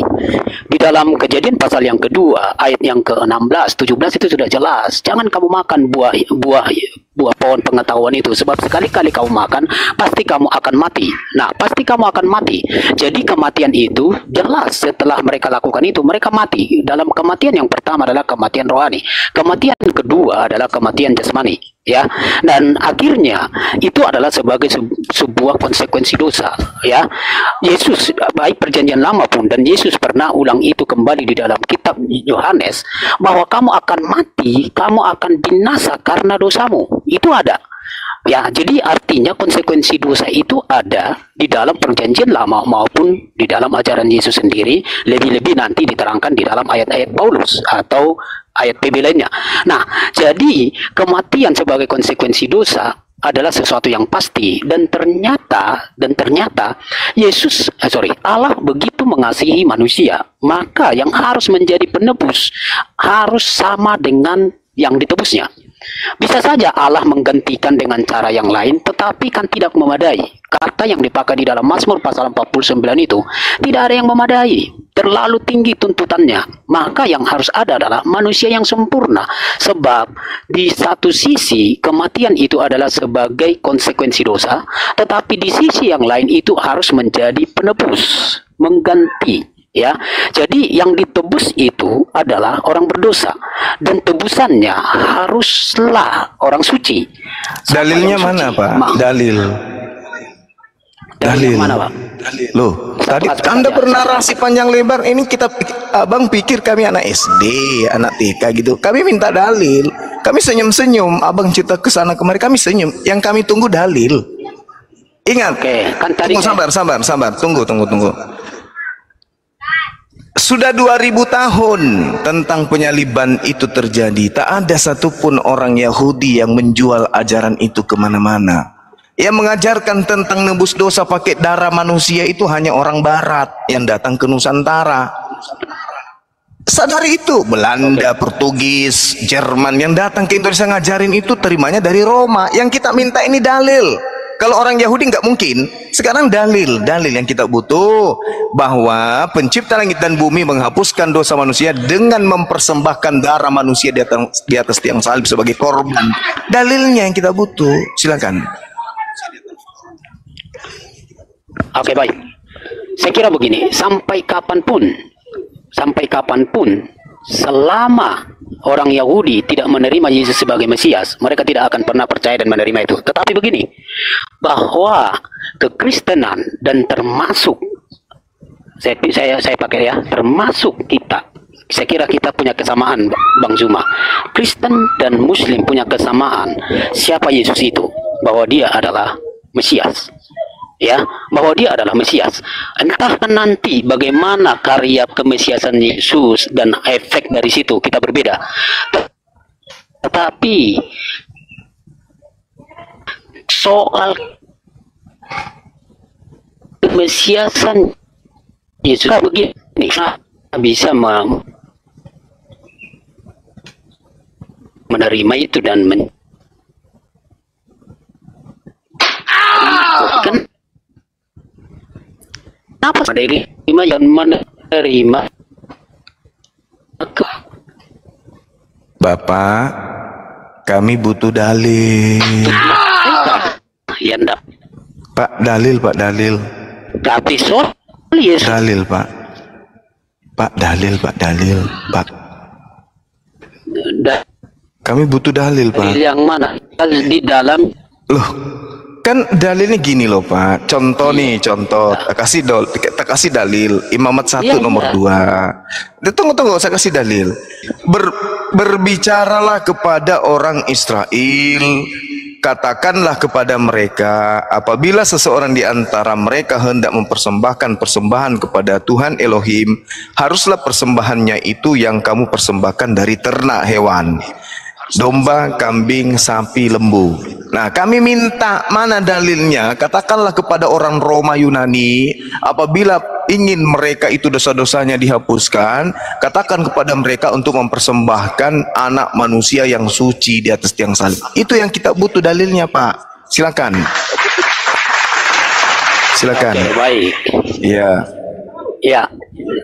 Jelas, saya mulai dari akarnya di dalam Yohanes eh sorry, di dalam Kejadian pasal 3 15 bahwa benih perempuan itu dari sana nanti penebusan itu. Ya. Kemudian konsep konsep upaya manusia untuk menutupi aurat rasa malu mereka melalui daun-daun akhirnya tidak memadai. Nah, lalu ternyata kejadian pasal 3 ayat-ayat 19-an itu uh, ya bahwa ternyata itu harus melalui korban, ada kulit binatang ya. Nah, kemudian ini terus mengerucut kepada sistem korban yang akhirnya dilembagakan oleh Musa baik itu di dalam kitab Keluaran, baik itu di dalam kitab Imamat, jelas bahwa di sana ada korban. Salah satu yang sangat penting adalah konsep anak domba Paskah. Itu anak domba Paskah sebagai yang yang yang yang yang mentipologikan sang penebus di depan bahwa itu harus dikorbankan dan darahnya darahnya itu harus di di di di, hisa- di, eh, dihapuskan ya. Di ditabur apa namanya itu? Ya dihapus kayak dicat ya. Di, di harus disulapkan disulakan di sana di atas tiang pintu sehingga malaikat maut itu lewat. Dan ternyata itulah pasca yang harus dirayakan dirayakan oleh Israel. Dan ternyata anak domba pasca itu disebutkan bagi Yesus baik di dalam Yohanes pasal yang pertama ayat 29 itu bahwa ternyata ya bahwa ternyata Yesuslah sang anak domba Allah itu. Jadi apa yang dilakukan dilakoni oleh Yesus sebagai yang menjadi mati korban penebusan itu bukanlah berjalan tanpa nubuat atau sebagai sebuah pengungkapan bukti. Sorry Pak, sorry. Sekali lagi sorry. Bapak menghabiskan waktu kami. Yang kami minta itu dalil. Kan saya kasih ayat bang. Lah, da mana dalilnya Tuhan mengorban memerintahkan orang Roma mempersembahkan kemudian manusia untuk nebus dosa. Selayaknya Tuhan mempersembahkan kemudian perintah kepada Israel. Berbicara kepada orang Israel, katakan kepada mereka, apabila seorang di antaramu hendak mempersembahkan persembahan kepada Tuhan, haruslah persembahanmu yang kau persembahkan itu dari ternak, yaitu lembu, sapi, kambing, domba. Nah, sementara orang Roma persembahannya adalah manusia. Mana dalilnya? Pembenaran untuk menjadi legitimasi korbannya manusia. Dalilnya mana? Kita butuh dalil. Oke. Supaya konsep penebus dosa dengan membunuh manusia itu ada dasarnya. Kenapa? Di Imamat 1821 janganlah kau sembah persembahkan seorang dari anakmu untuk dipersembahkan kepada dewa Molok supaya jangan engkau melanggar kekudusan namaku. Akulah Tuhan. Imamat 20 nomor 3 Aku sendiri Tuhan akan menantang Menentang orang itu Dan akan melenyapkan dia dari tengah-tengah bangsanya Karena dia menyerahkan anak manusia kepada Dewa Molok Itu Nah sekarang mana dalilnya? Jangan cuman oke bang. Jangan cuman baik baik baik. Kami minta dalil. Dalil bahwa Tuhannya Bani Israel Meminta persembahan darah manusia Di atas tiang salib untuk nebus dosanya orang Roma Yunani. Kami butuh dalil. Silakan. Oke, mungkin Bang Zuma tidak menangkap susah menangkap yang saya sampaikan ya. Karena tidak ada dalil. Yang saya minta dalil. Oke. Saya tidak Dalil mana? apa yang Anda maksud dalil. Oke, Bang, saya ulang lagi. ndak- Firman Tuhannya Kalau anda nggak ngerti dalil Firman Tuhan Acuan perintahnya untuk membunuh Yesus itu mana Oke bang, udah. Saya Iya. ulang saja, bukan sesuatu yang baru. Saya sudah sampaikan di kejadian 3 ayat 5. Tak ada hubungannya. Saya, tadi ku biarkan, ku pikir ada hubungan. Tak ada hubungannya. Oh, Tak ada hubungannya. jadi gini, Apa? lah. Apa hubungannya itu? bilang, silakan. sil- oke, sebentar. Ini waktu saya ya. Supaya kita jangan kembali ke hal-hal yang dulu. Kadang-kadang jadi rame. Nah begini bang. Enggak, Ya. kita enggak mau diperbodoh di sini, Bang. Kita minta dalil loh. Bukan. Bukan. Kejadian 315. Kejadian di 3.15 situ tidak ada hubungannya. Dengan Tidak ada hubungannya. ya, aku akan mengadakan permusuhan. Permusuhan engkau antara engkau, engkau di sini siapa? Engkau di sini siapa, Bang? Engkau di sini siapa? Dan perempuan. Perempuan ini siapa? Perempuan ini siapa? Hawa. Hawa. Hawa. Terus apa hubungannya dengan mati di atas tiang salib Yesus? Oke, Bang. Hah? Oke, saya pikir ini sudah menjadi balik-balik ini ini akan jadi ribut. Jadi lebih baik. Apa hubungannya dengan bicara. Maria, Ya, anak Yesus? abang, abang bicara dan setelah itu saya. Silakan aja. Enggak, saya hanya minta apa hubungannya Anda mengais-ngais kitabnya orang Yahudi dengan ajaran pagan? Manusia baik. dipersembahkan kepada dewa Molok. Apa hubungannya? Kalau saya, kalau saya yang bicara, berarti abang diam ya supaya santun lagi supaya Iya, enak tadi. coba bukan bukan bukan santun yang kita butuhkan di sini, tapi isi ilmu yang kita butuh, ilmu yang kita Oh. Ah, butuh. ini- ini- Kita butuh dalil. Kembali nih. Aku akan Ya, oke. mengadakan permusuhan antara keturunanmu dan keturunannya. Terus apa hubungannya? Kalau Anda mengatakan itu lanjut ada. Tidak ada hubungannya, Bang. ayatnya. Nggak ada, nggak ada hubungannya. Oh. Nggak ada hubungannya sama Bang. sekali. Nah, silakan. Oke, ini waktu saya. Ini waktu saya, tidak usah dipotong ya, supaya enak. Jadi begini ya, sejak manusia jatuh ke dalam dosa, langsung. Ah. Kenapa lagi manusia jatuh ke dalam dosa? Siapa lagi manusia yang Anda tuduh ini masuk ke dalam dosa? Siapa lagi yang Anda tuduh? Oke. Kan cuman Adam. Oke. Iya, Adam dan Hawa kan ada di sana, Bang. Iya, tapi kenapa manusia yang Anda sebut Loh, Adam itu manusia atau bukan? manusia, tapi bukan semua manusia? Oh, saya tidak bilang semua manusia, tapi semua Lah, manusia. jangan Anda mengatakan manusia jatuh ke dalam dosa. Oke. Kenapa? Karena Nah, Adam karena Adam dosanya diampuni. Baca Kejadian 5 nomor 2. Adam dan keturunannya diberkati. Jadi jangan asal-asal ngomong. Nanti larinya Yesus. Adam itu dosa. Akhirnya keturunannya dosa. Akhirnya dibutuhkan korban dari iblisnya untuk mati di atas tiang salib. Gitu loh, Bang. Oke, oke. Ya. Ini aja, saya kira Hmm. diskusi kita ini sudah tidak akan ada dapat Eh karena tidak ada dalil. karena sudah saling potong. Anda enggak? Bukan, tidak ada dalil. ada Kita dalil. butuh dalil. Mana dalilnya? Anda potong-potong. Saya butuh Bukan dalil. dalil, tapi Anda tidak Kalau menangkap. Anda tidak ada Tidak dalil, menangkap. untuk apa jualan obat di sini? Eh, saya sudah bilang ya saya 53. Iya saya 53 itu bukan untuk tidak ada hubungannya dengan itu. Ya saya 53 baca dari 52. Di situ hanya bercerita Udahlah. tentang penderitaan Bani Israel pada saat sa- masa pembuangan. Apa hubungannya? Dibantah oleh Yohanes 1. Yesus itu, abang, ke- abang, abang. Yesus itu dibunuh karena orang Yahudi takut bangsanya dan tempat sucinya diambil oleh orang Roma. Dalilnya ada. Nah, saya minta mana dalilnya Yesus dibunuh untuk nebus dosa-dosa mana? Saya mau Mana? Anda di sini. Di mana Yesus Hmm. dibunuh karena takut bait sucinya dirobohkan? Di mana ayat? Ini saya bacakan ya. Yohanes Ya, 11. dengarkan. Bukan, itu bukan bang, bukan. Yo, jangan, jangan sekali lagi mau ambil Yohanes 11. Anda Kenapa? tidak tahu ayat sekali lagi saya akan Anda takut? begini. Anda Coba. takut? Bukan. Anda takut? Saya bilang ke abang, abang tidak mengerti membaca teks kitab suci, tidak mengerti konteks, tidak mengerti. Eh. Oh, kalau- kalau Anda ngerti gitu? Genre sejarah, Anda ngerti? Kalau Anda ngerti, sejarah? Kalau Anda ngerti, Nah, anda, anda saya mau bilang, anda Kalau Anda ngerti, yang sekarang saya tanya, ngerti. apa hubungannya Saya Kristen ngerti, dengan kitab. Yesaya? Kutanya dulu, apa hubungannya Yesaya dengan kitab Oke. dengan orang Kristen? Apa hubungannya? Oke, Anda diam. Anda diam bersejarahkan. Yesus Ah. mengatakan, Yesus mengatakan, aku akan mendirikan jemaatku. Hmm. Yesus Ya, itu berarti bukan orang Kristen. Jangan ngadi-ngadi ente. Jangan jualan obat. Ada Yesus itu orang Yahudi. Ada. Yesus itu Anda Bani. Israel. Sementara Anda Bani Pagan. Jangan samakan. Bang, bang. Apa? Sorry ya, saya pakai kata yang agak keras ini. Ya nggak apa-apa. Emang gue takut sama lo. Hah? Bukan, kata Kristen. Saya ada. katakan Kristen kepada saudara, jangan jangan ajaran Yesus Nah. Anda klaim. Yesus itu orang Yahudi, bukan Kristen. Saya minta dalil loh, sampai Anda emosi.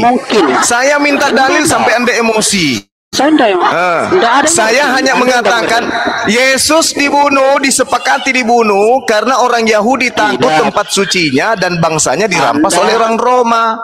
Dalilnya Anda ada. tidak mengerti membaca kitab suci. Saya atau Dan Anda yang tidak sejarah. mengerti? Saya atau Anda? Tidak mengerti. Anda, Anda yang tidak mengerti sejarah. karena Anda agama pagan. Anda maunya Yesus itu mati. Saya nggak mau Yesus mati. Saya nggak mau Yesus mati. Anda maunya Yesus mati. Berarti Anda itu adalah Anda adalah tangan kanannya Nah, iblis. sejarah. Nah, sekarang saya tanya. Bang. Kalau- Oke, oke, udah kita tinggalkan itu, kita tinggalkan itu. Saya tanya dulu sama Anda. Apa tujuannya iblis merasuki Yudas? Jawab.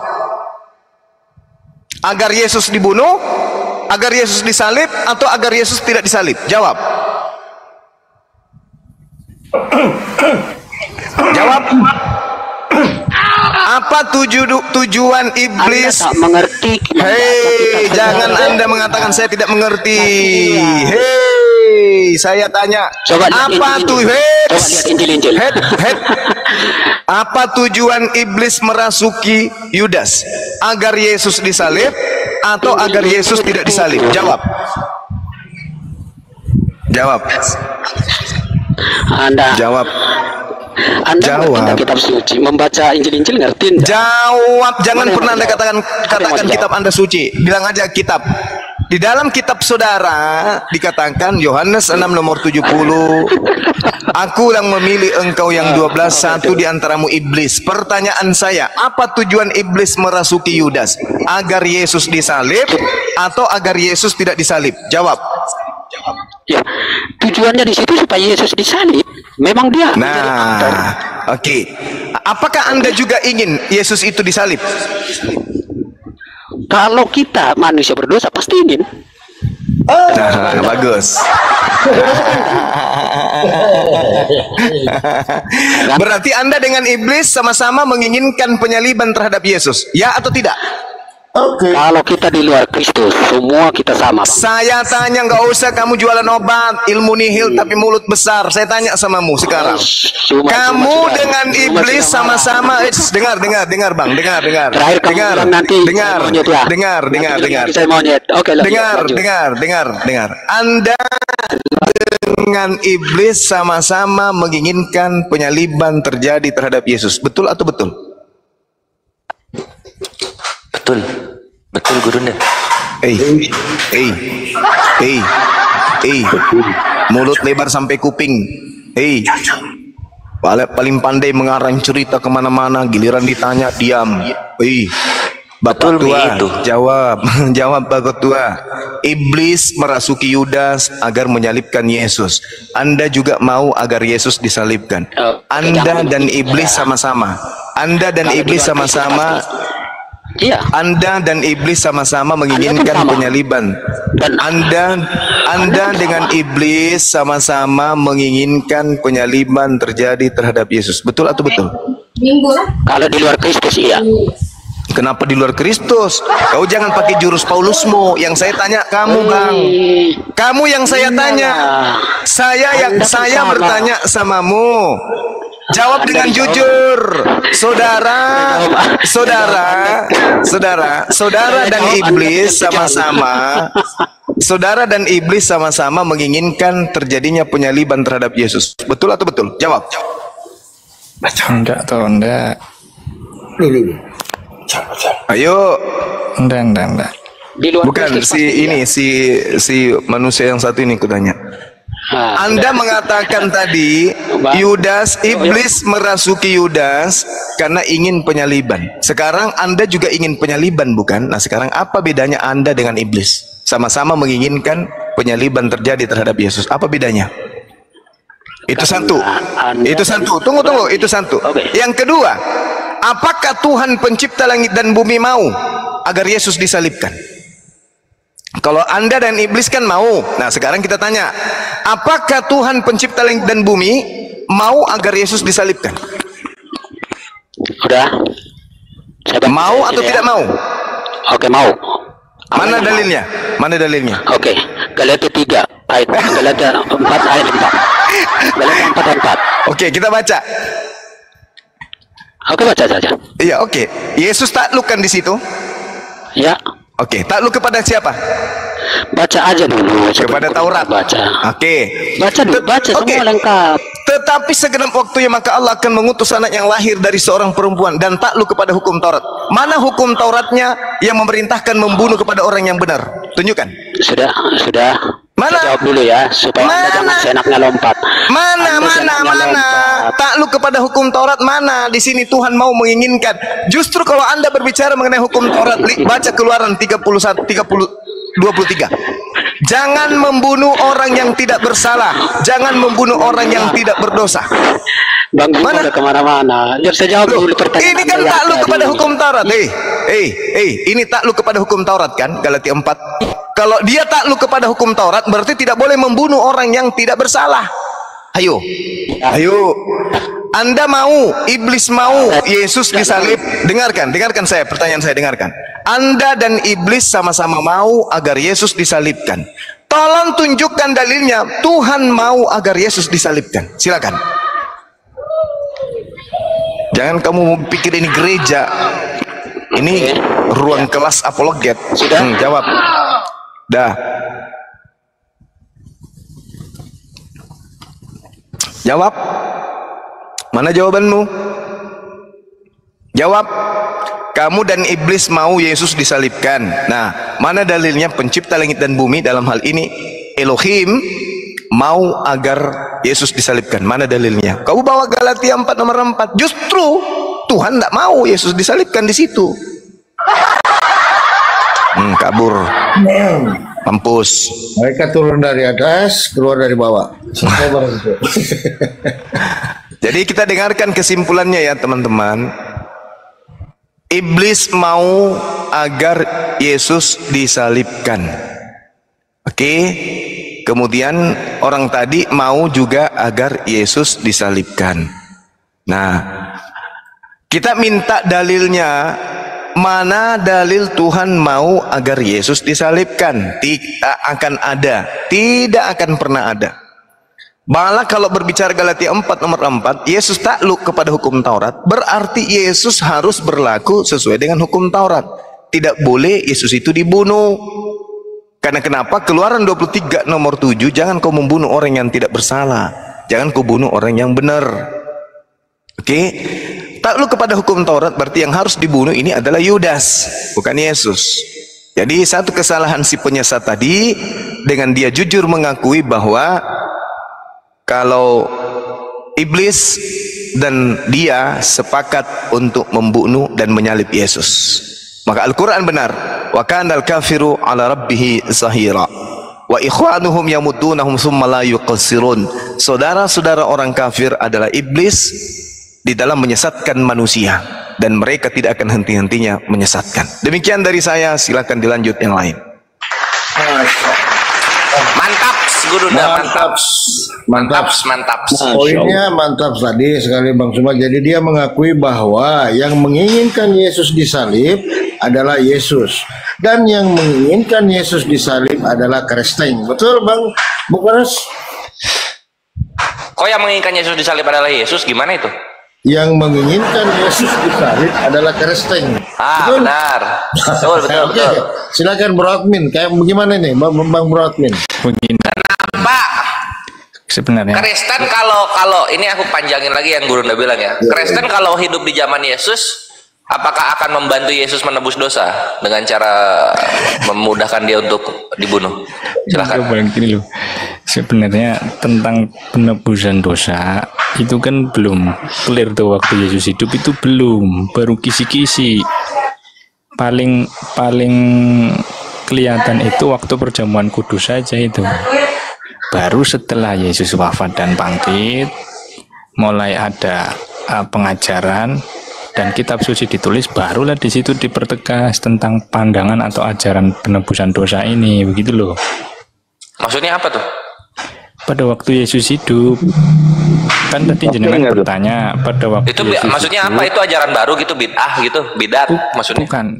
Tentang penebusan dosa Yesus dinyatakan sebagai penebusan dosa itu belum kentara.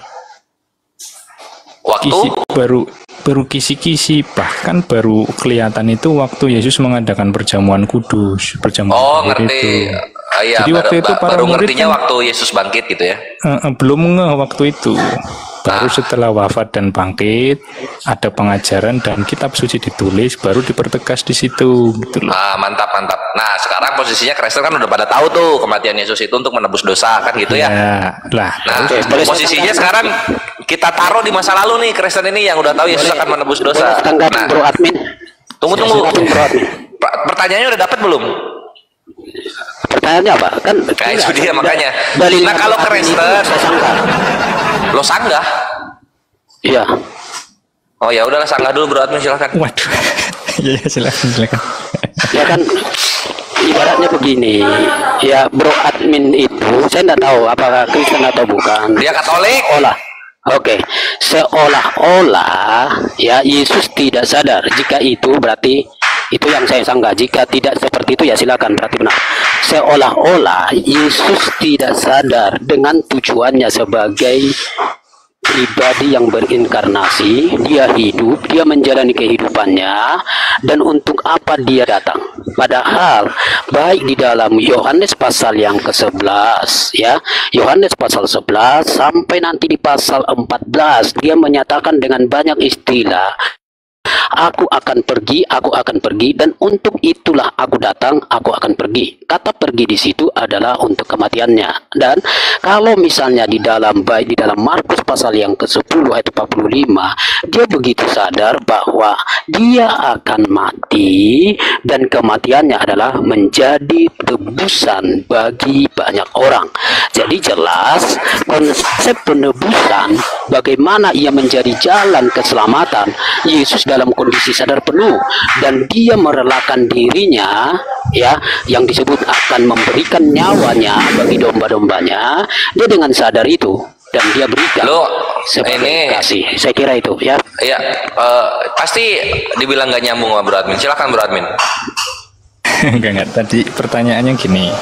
Kalau Pak Predik kemudian misalnya nih timelinenya kembali ke waktu Yesus hidup apakah akan mendukung Yesus untuk penebusan dosa begitu pertanyaannya makanya saya jawab waktu itu para murid belum nge belum tahu betul belum paham betul tentang misinya begitu begitu Pak Predik bukan berarti saya menolak apa Yesus mau apa gitu enggak Om di Alkitab kan sudah ditulis Tahu.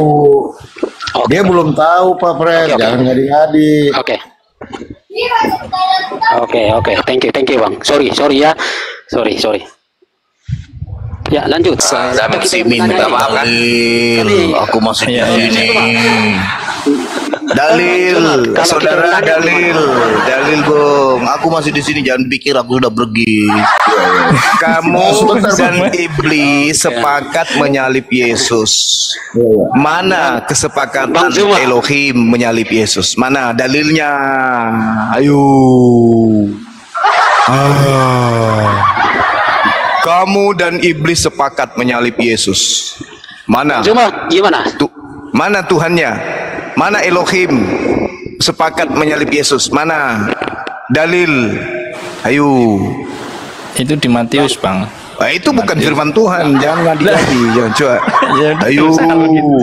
kalau gitu ya susah lah gimana masa iya firmannya belakangan muncul bro admin gimana sih Ya, masa dibunuh dulu realitanya. masa dibunuh dulu baru datang firmannya belakangan jangan gitu dong saya realitanya minta gitu. dalilnya di mana Tuhan Elohim mengizinkan pembunuhan terhadap Yesus untuk nebus dosa orang Roma mana dalil Tadi Anda sepakat, iblis dan Anda sepakat menyalip Yesus. Nah sekarang Tuhannya mana? Mana? Ya, maksudnya maksudnya kedua itu gini loh predika bro admin. Eh, di mana ada tertulis eh, Elohim berfirman, inilah anakku yang Bunuhlah, akan saliblah. mati. Ah. Ah, gitu-gitu Mana? gitu Oh, loh. ada. Kan biasanya Enggak ada kan? Nah, secara tersurat tidak seperti itu Suratnya Sementara mana? Tuhan Elohim mengatakan jangan kau persembahkan anak manusia. Ayo. betul betul betul Nah, makanya terus kenapa Anda mengatakan bahwa ini adalah karya keselamatan? ya karena gini Mas Sumaya Sementara dari itu prosesnya dikelilingi oleh iblis. Semuanya iblis yang punya karya. Ayo. iya Mana? iya, iya. Sebentar, Ah. Bang. Tapi Bang Zuma, Bang Zuma setuju bahwa Yesus mati? Tidak. Oh, ngapain Anda bicarain? Nah, justru itu saya cari pembenaran Anda untuk membunuh Yesus itu apa? Tapi kalau yang dibunuh itu adalah orang terkutuk, saya setuju. Bang, Bang. Oke, saya bicarakan dulu nih. Begini loh Bang Zuma ya. Bang Zuma. Karena perintah Tuhannya membunuh orang terkutuk ada. Oke, Tapi ini- perintah ini. Tuhannya membunuh orang suci tak ada. Nah, Yesus Oke. terkutuk atau suci? Ayo. Sedikit saja, sedikit saja Ah, untuk kena kan? membuat enggak enggak begini supaya Bang Zuma berpikir begini ya. Boleh Wah, Anda saya pula yang disuruh Iya, berpikir. betul, betul. dalil, dalil dulu, baru suruh orang berpikir, Oke, jangan mulut oke. besar. Oke, pertama Bang Zuma, pertama Hmm, Bang Zuma. apa? Anda masuk ke kitab-kitab Injil, udah? Nah, terus masalahnya? Anda masuk ke Anda- orang Yahudi apa? Apa hak Oke, Anda? sudah. Nah, anda masuk ke kitabnya orang Yahudi apa hak Anda? Izinkan dulu saya bicara nanti sangga aja, sangga aja nanti ya. Tapi izinkan saya bicara. Udah? Iya, silakan. Anda masuk ke kitab Injil, tapi sorry, seribu kali sorry. Kitab Injil itu adalah sejarah. Ketika seseorang memahami sejarah, dalam arti ada sejarah Yesus yang lahir sampai kepada kematiannya. Tapi Anda menolak itu. Saya pikir Anda masuk ke ruang yang jauh dari logika. Oke, itu pertama. Lalu kedua, tutup saja Alkitab, baca saja sejarah-sejarah yang tidak setuju dengan Kristen bahwa sejarah menyatakan Yesus disalibkan. Oke, mereka adalah orang-orang yang bukan Kristen dan tidak senang dengan Kristen, tapi mereka menuliskan sejarah bahwa Yesus disalibkan dan mati. Kalau Anda bantah itu, bantalah sejarah, bantalah kitab suci, dan silakan Anda berdiri sendiri dan tetap berkata, "Aku tidak mau mengakui Yesus mati." Silakan. Bung, Tapi Anda salah memahami kitab sejarah. Bung, Bung, masih adakah otak di kepala yang bisa saya temani berdiskusi ini? Masih ada kan? Jus- Justru Masih ada kan? yang tidak ngerti. Masih ada kan? Nah, gini, dengarkan saya. Penyaliban itu terjadi. Terjadi penyaliban itu. Baik sejarah kitab saya sebagai kitab suci maupun kitab saudara. Tapi yang jadi permasalahan ini ajaran Roma. Ajaran Romanya, sabar dulu. Anda pikir Anda Kristen ini dari Yahudi? Mana ajaran Romanya? Mana ajaran Romanya? Silakan. Mana? Yang mempertuhankan anak dewa itu apa? Romanya? Salah Anda. Makanya dengarkan saya. Anda sangka nanti gantian kita. Oke, silakan. Anda Lanjut. itu enak di Indonesia ini enak. Kenapa kitab Anda itu sudah ke Islam-Islaman baunya tinggal sholat aja dengan ke masjid itu tidak kalian itu. Kitab kalian itu sedikit lagi jadi Al-Qur'an. Asal kau tahu. Mungkin 20 tahun kemudian setelah kami mati semua para apologet ini, kitabmu sudah bahasa Arab juga. Kalian juga sudah pakai song kopiah di masjid. sorry, sorry. Gerejamu juga berubah nanti pakai toa. Sorry. Yesus Akbar, Yesus Akbar. Nah, gitu nanti kalian. Kalian meninggalkan agama asli kalian dari Vatikan Roma Oke, itu. Bang, Bang, Bang, Tunggu dulu, saya belum selesai. Sabar, gantian kita. Kamu nyerocos tapi tidak ada isinya. Tunggu, sabar. Tidak ada isinya, membosankan. Dengarkan saya, dengarkan, dengarkan. Camkan baik-baik. Dengar, dengar, dengar. Dengarkan saya, dengar, dengar. Penyaliban itu terjadi di tengah-tengah Yahudi. Oke. Al-Quran mengatakan oke. Bible juga mengatakan oke. Muncul penganut ajaran pagan. Roma Vatikan menjadikan tragedi penyaliban itu sebagai simbol keselamatan dengan mendudukkan Yesus sebagai korban tebus dosa. Makanya saya minta dalilnya tak ada. Oke, satu. Yang kedua, yang dibunuh di atas tiang salib itu adalah bukan utusan Tuhan, bukan rasul Tuhan, bukan orang suci, tapi orang terkutuk.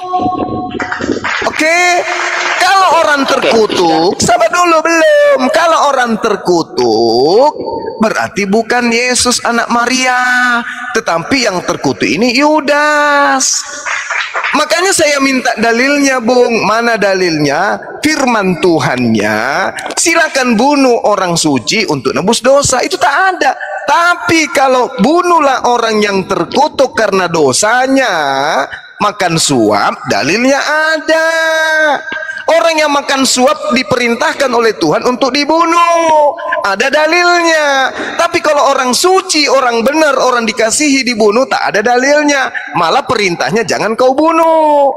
Itu yang perlu Anda pahami. Maka duduk perkara sebenarnya adalah yang kalian sembah itu Yudas, bukan Yesus. Kenapa kalian pingin kali kemudian Yesus ini dibunuh? Kenapa? Kenapa? Kenapa? Kenapa? Kenapa? Kenapa? Kenapa?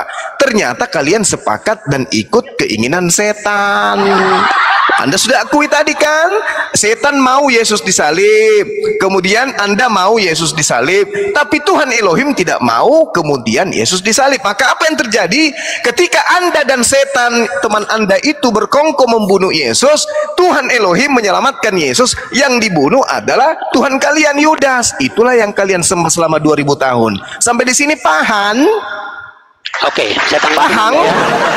Oke, oke. Ini giliran saya. Belum ya. paham? Oke, udah diam saja biar saya tanggapin Anda. Pertama, Nah, Pasti mulut besar aja nih, nggak ada isinya. Pasti dengar aja nanti. udah jangan tak Dalilnya, dalilnya, saya kasih dalil. Keluaran 23 nomor 7. Dengar dalilnya supaya saya tidak disebut asumsi. Supaya saya tidak disebut asumsi, dengarkan. Keluaran 23 nomor 7. Jangan kau membunuh orang yang tidak bersalah, jangan kau bunuh orang yang benar. Satu. Kedua, enam kekejian, bahkan tujuh perkara yang dibenci oleh Tuhan, yaitu orang yang menum- menumpahkan darah orang yang tidak bersalah. Dua. Kemudian yang ketiga, Ulangan 21 nomor 22.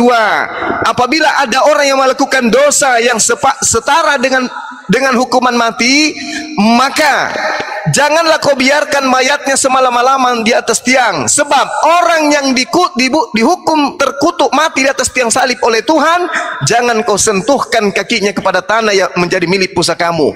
Oke? Ada tiga dalil, baru tiga. Saya punya stok dalil banyak larangan Tuhan membunuh Yesus. Sekarang giliran kamu menjawab, tolong tunjukkan dalilnya Tuhan mengizinkan memberikan perintah bunuhlah Yesus orang yang suci itu. Silakan. Oke, Bang Zuma, begini ya. Hmm. Saya ba- uh, ngomong baik dulu, di luar dari konteks pembicaraan kita. Begini, Hmm. Karena ini terlalu banyak, tetapi Anda sudah bicara sampai ke mana-mana. Saya tantang begini saja, saya tantang Anda kita buatkan satu room formal untuk saya meruntuhkan teori Anda bahwa Yudas yang mati. Saya runtuhkan. Enggak usah terlalu Anda banyak teori mulut besar Anda itu enggak usah, enggak usah, enggak usah. Bukan. Enggak usah. Sekarang aja, sekarang aja buktikan dalilnya. sendiri. Saya akan buat video sendiri. Begini, begini. Dengarin. Kalau Anda ben- kalau benar Kalau Anda betul menerima tantangan ke- saya, Saya terima tantangan saya- Anda sebentar malam. Dengar, Anda. dengar, dengar, dengar, dengar. Berarti saya terima tantangan Anda sebentar malam head to head dengan saya di Komal Bang sahabat Bang Suma. Berani nggak bahas ini? Oke. Gimana? Berani nggak? Kamu buka kamera, saya buka kamera, saya tunjukkan data, Anda tunjukkan data. Bahwa yang disalibkan bukan Yesus, tapi Yudas. Berani nggak? Wah, bagaimana? Sinyalnya Sebentar udah- malam. Anda tunjukkan data, saya tunjukkan data juga. Oke. Gimana? Berani nggak? Ini tantangan. Jam 9 waktu Makassar, jam 8 waktu Jakarta. Ayo. Berani nggak? Kita buktikan siapa yang Anda sembah selama 2000 tahun ini. Ayo.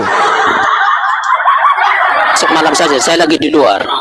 Besok Oke, malam, besok besok, besok Oke, malam. Enggak apa-apa. Oke, Besok malam saya saya tantang Anda. Saya jawab tantangan Anda besok malam. Di sahabat Bang Suma datang di tempat saya jam 9 malam. Aku tunggu, kita buktikan siapa yang disalib, Yesus malam atau ya? Yudas. Oke. Oke. Baik. Lanjutkan yang lain. Di sini sudah mau mengeribi. Ingat ya, ingat ya. Jam PR saudara, Oke, saya minta dalil, saya minta dalilnya, siapkan dalilnya di mana Tuhan menginginkan pembunuhan terhadap orang suci. Silakan. Jangan di Alkitab. Oke ya. Oke, Bang baik. uh, Pre- pra Baik. Prade ya, tapi saya ada ada saya ada Oke, ini ya. tadi Bang saya sebentar sebentar Bang. Prad. Bang Prade, Prade, Bang Prade. Tadi ada narasi Anda yang mengatakan membantah dalil apa tentang siapa yang teman ke saudara kita Kristen yang tadi datang satu itu bahwa yang dilahirkan itu Tuhan. Itu Anda bantah betul ya? Iya, jangan begitu kalimatnya. Itu tidak lengkap. Berbahaya. Iya iya iya iya. Ya, coba. Dan itu, Jadi dan menurut itu kan Anda yang, yang diinginkan oleh. Bang, bang. Iya. Sorry, sorry. Enggak, tadi Saya bukan Iya, iya. tidak Tadi kan- jawab. Tadi kan saya sudah jawab. Tapi begini. Iya iya. Bolehlah satu kali saya ketemu dengan Anda, kita akan diskusi soal itu. Iya, yang enggak, enggak, ini, enggak, ini, ini, ini, cuma ini aja bang, menyambung aja tadi karena saya agak penasaran juga karena menurut abang yang tadi itu yang dilahir, yang ada di kandung Maria itu adalah Tuhan, yang dilahirkan juga adalah Tuhan, tetapi anda anda eh, membantah itu kan, betul ya? Saya disebut Yesus, kan begitu kan? Yesus. Nah, menurut anda Yesus itu Tuhan atau utusan Tuhan? Nah, Yesus itu Tuhan, pokoknya dia Hah? adalah pribadi logos. Oh, berarti yang dilahirkan Tuhan, betul? Kalimat itu berbahaya, makanya tidak cukup Oh, saya berbahaya. menjelaskan begitu. Enggak, enggak. Iya, iya, iya. Coba, coba, coba. Karena justru itu yang Anda Anda tunggu, seolah-olah Tuhan menjadi kecil, Bukan Tuhan menjadi saya, bayi, Tuhan. bukan bukan Iya. saya, Pak. Saudara Anda Kristen tadi mengatakan yang dilahirkan itu adalah Tuhan, tapi Anda menyangka, Anda menyangka bahwa yang dilahirkan itu Yesus. Maka timbul pertanyaan, yang dilahirkan ini Tuhan atau utusan Tuhan? Silakan. Dua-duanya. Nah, iki. Lanjut. Ya gimana dong? Loh, loh, loh, loh. Memang, memang begitu sih. Oh, jadi yang dilahirkan Bunda Maria, Tuhan merangkap utusan Tuhan gitu? Ya dua lah, diakui dua. Jangan satu doang yang nggak lengkap tuh. Iya itu Mas Jadi Bro. yang salib itu juga dua-duanya ya. Dua-duanya. Nah, dua-duanya. Satu doang nanti. Kalau satu belum lengkap, Bang. Kang Dito bisa ambil alih dulu Kang Dito ya. Jadwal sekolah bisa Kang Dito. Siap. Ya, dilanjut dulu kan itu. Dilanjut kita siapa dulu bundanya siapa ini? Bundanya dia. Gerard. Eh siapa? Bundanya Gerard. Silakan apa yang mau disampaikan Bunda? Jadi gimana itu? Yang disalib dua-duanya, manusia dan Tuhan gitu maksudnya? ya lanjut Kang Dito. Iya, tahu kalau Halo? Ya, halo, halo Bunda. Ya, halo. Halo. Ya, gimana Bu? Sore juga. Hah, Jaringan kali ya. Su- Suaranya kecil apa? suaranya kurang kencang. Jaringan kali. Halo? Iya, jadi Ya, halo. sepertinya. Halo, sore. Selamat sore, Bunda. Halo? Halo? Ya, ya sudah ada itu suaranya, Bu. Gimana, Bu? Baru dia sinyalnya nggak bagus itu turun aja dulu terus naik lagi. Bang Bro, Bang Bro admin. Iya, Kang Dito. Yang disalib manusia apa Tuhan atau dua-duanya jadinya gimana sih? Ya, kalau orang sekarang ya harus bilang dua-duanya tuh. Gini, gini. Tapi kalau dalil kedua-duanya nggak ada itu. Yang nggak ada yang dalil kedua. Dua-duanya yang nggak ada dalilnya. Ya, Tapi kalau dalil, dalil kematian ini- Tuhan itu ada. Bukan, bukan. Justru yang kematian Tuhan itu yang nggak ada. Yang ada di kematian manusia. 1 Korintus pasal 11 nomor 26 sebab setiap kali kamu makan roti ini dan minum cawan ini kamu memberitakan kematian Tuhan. Ya, itu kan terjemahannya tergantung warna doktrinnya tuh. Dulu tafsir itu. Bukan, bukan. Begini. Kalau yang diminta secara tersurat kematian Tuhan memang tidak disebut. Paling-paling hanya ada surat Paulus yang mengatakan dalam rupa teos telah mengosongkan diri menjadi sama dengan kita menjadi sama dengan manusia. Itu pun tetap ditekankan di kemanusiaannya begitu. Coba Kolose 2 nomor 9. ya gini. Jadi memang peristiwa salib yang disalib ya Yesus itu. Yang manusia. Baru setelah peristiwa tersebut ditulis mulailah ada pemahaman lebih lanjut atau yang disebut kristologi sebenarnya Yesus ini hanya manusia biasa atau manusia yang bagaimana begitu barulah diakui keilahiannya Kang Dito, nafsir. Kang Dito, izin sedikit. Ah, teman-teman di bawah sebelum saya istirahat lihat maghrib, ah, izin di follow dulu teman-teman yang ada 1300, izin di follow C6 Palopo, biar bisa kita open cam ya, buka data ya. Izin teman-teman, mohon maaf teman-teman yang di bawah bisa di follow follow ya. Kang Dito juga boleh lah di follow ya, kecuali Bang Kores di unfollow aja. Habis di follow di report kawan-kawan ya tolong ya. Eh, SOP yang benar itu ya Bang Kores Oke, ya soalnya banyak data-data terbaru ini ya, banyak data-data terbaru. Saya akan buka ya. Tolong di follow, semualah di follow di atas izin. Izin semua di follow, di follow di follow. Yang jauh merapat, yang sudah rapat tolong diperhatikan ya. Di tangan kanan saya ini ada. Tuhan, di tangan kiri ada utusan Tuhan ya.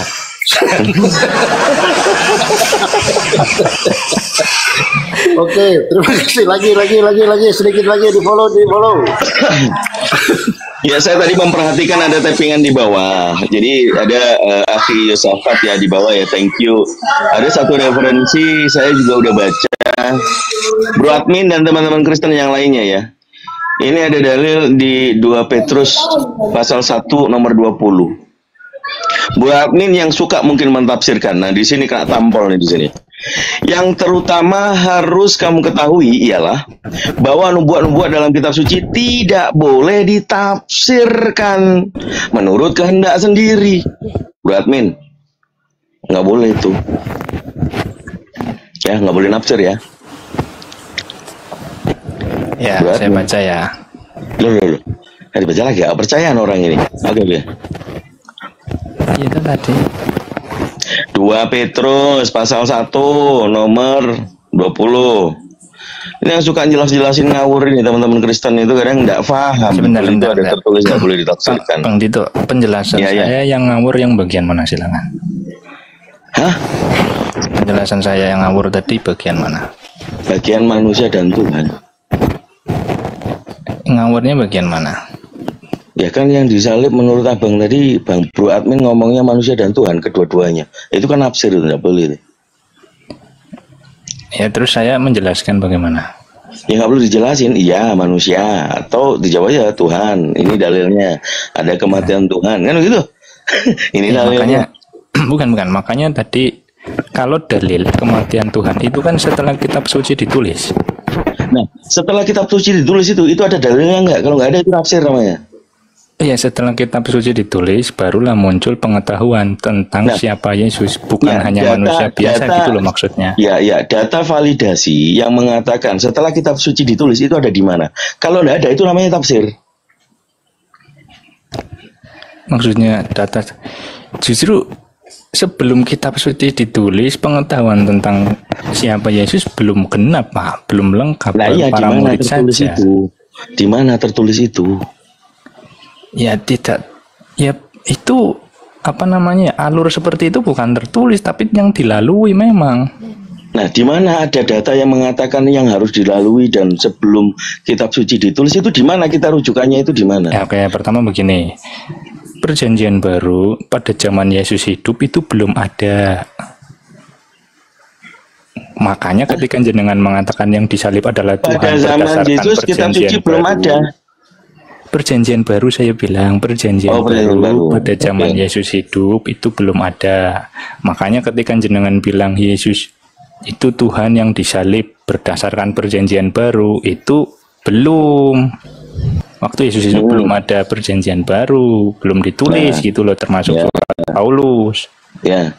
Gitu kan? Tapi ini substansinya, Bro, kan tertulis nih 2 Petrus ayat 1 pasal 1 nomor 20. Ini ini ngasih tahu nih ke semua teman-teman Kristen. Yang terutama harus kamu ketahui, teman-teman Kristen tuh harus ketahui. Ialah bahwa nubuat-nubuat dalam kitab suci tidak boleh ditafsirkan menurut kehendak sendiri. Ini perintah, larangan untuk mentafsir gitu loh. Paham ya poinnya Bro Admin ya? Saya nggak nafsir, wong saya mengikuti yang Ya sudah disahkan. Oke, pokoknya poinnya itu ya. Ya, ya, ya, ya, oke lah. Poinnya itu. Jadi kalau sembarangan menjelaskan, tidak ada tulisan tafsir atau memang secara letterlek kalian enggak, kalian tidak bisa menjelaskan gini. Ternyata justru malah ketampol. Tapi Bang Dito coba kesalahan saya di mana ketika saya mengatakan enggak ada. pada Saya enggak nyalain. Saya enggak nyalain. Halo? Iya, halo. Bunda. Oh ya, sore. Sore, silahkan Bunda. Ini Kang Dito nih harus dikasih ilmu pengetahuan.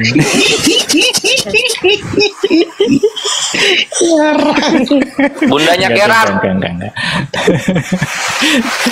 Kong Hucu atau Bunda? Eh, Kong. Hucu atau Buddha, Bun? Ah, jelek sinyalnya. Iya nih Bunda jelek sinyalnya. Mungkin dari jauh mungkin ya. Oh, Anu, apa? Towernya nggak ada di dekat situ. Takut sama Admin. eh, pada fiber tuh, pada fiber optik tuh.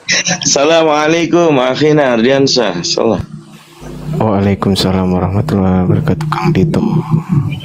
Wah, nek Bang Ardian sama mengkritik teks ya wes. Semuanya guru les semua Bang Fandi, Bang Aki Perah Istighfar, Aki Palopo.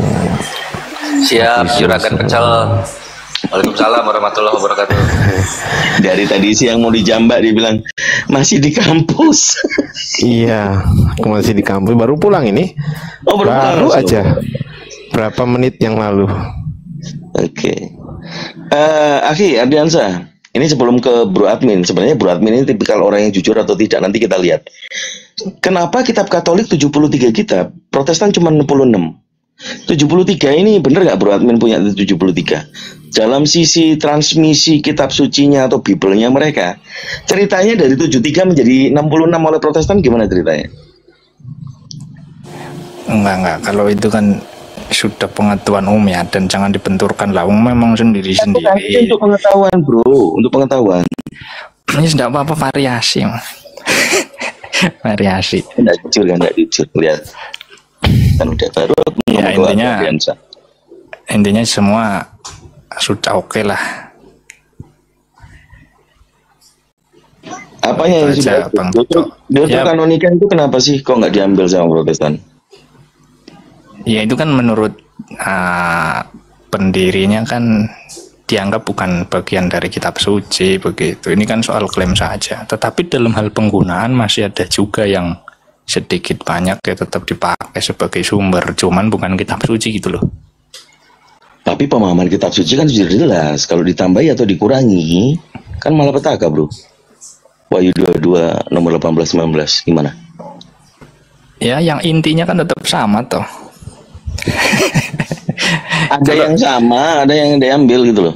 iya ya kalau soal itu nanti penjelasannya perang beda-beda Takut perang lagi, perang salib, eh perang kekristenan tuh. enggak tuh udah tuh bro udah lewat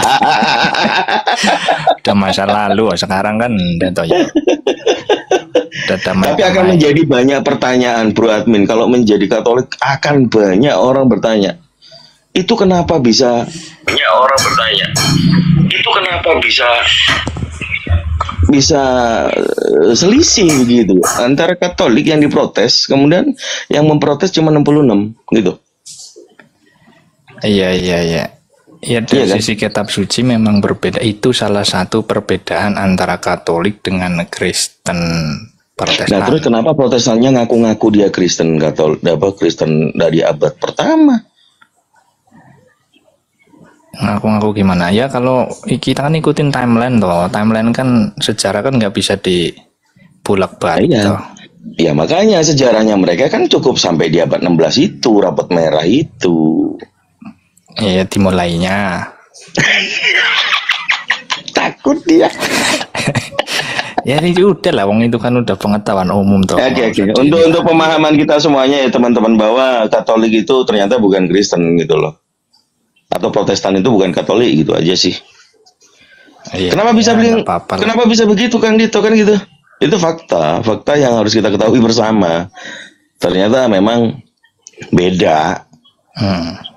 Ada lagi seorang yang ngaku-ngaku Katolik gitu kan, liturgi sama sakramennya aja dia masih belum menggenapi ikutan debat. Begitu dikasih dalil Martin Luther menghujat Tuhan, Tuhan tidak lebih dari seorang bajingan, eh kalang kabut dia.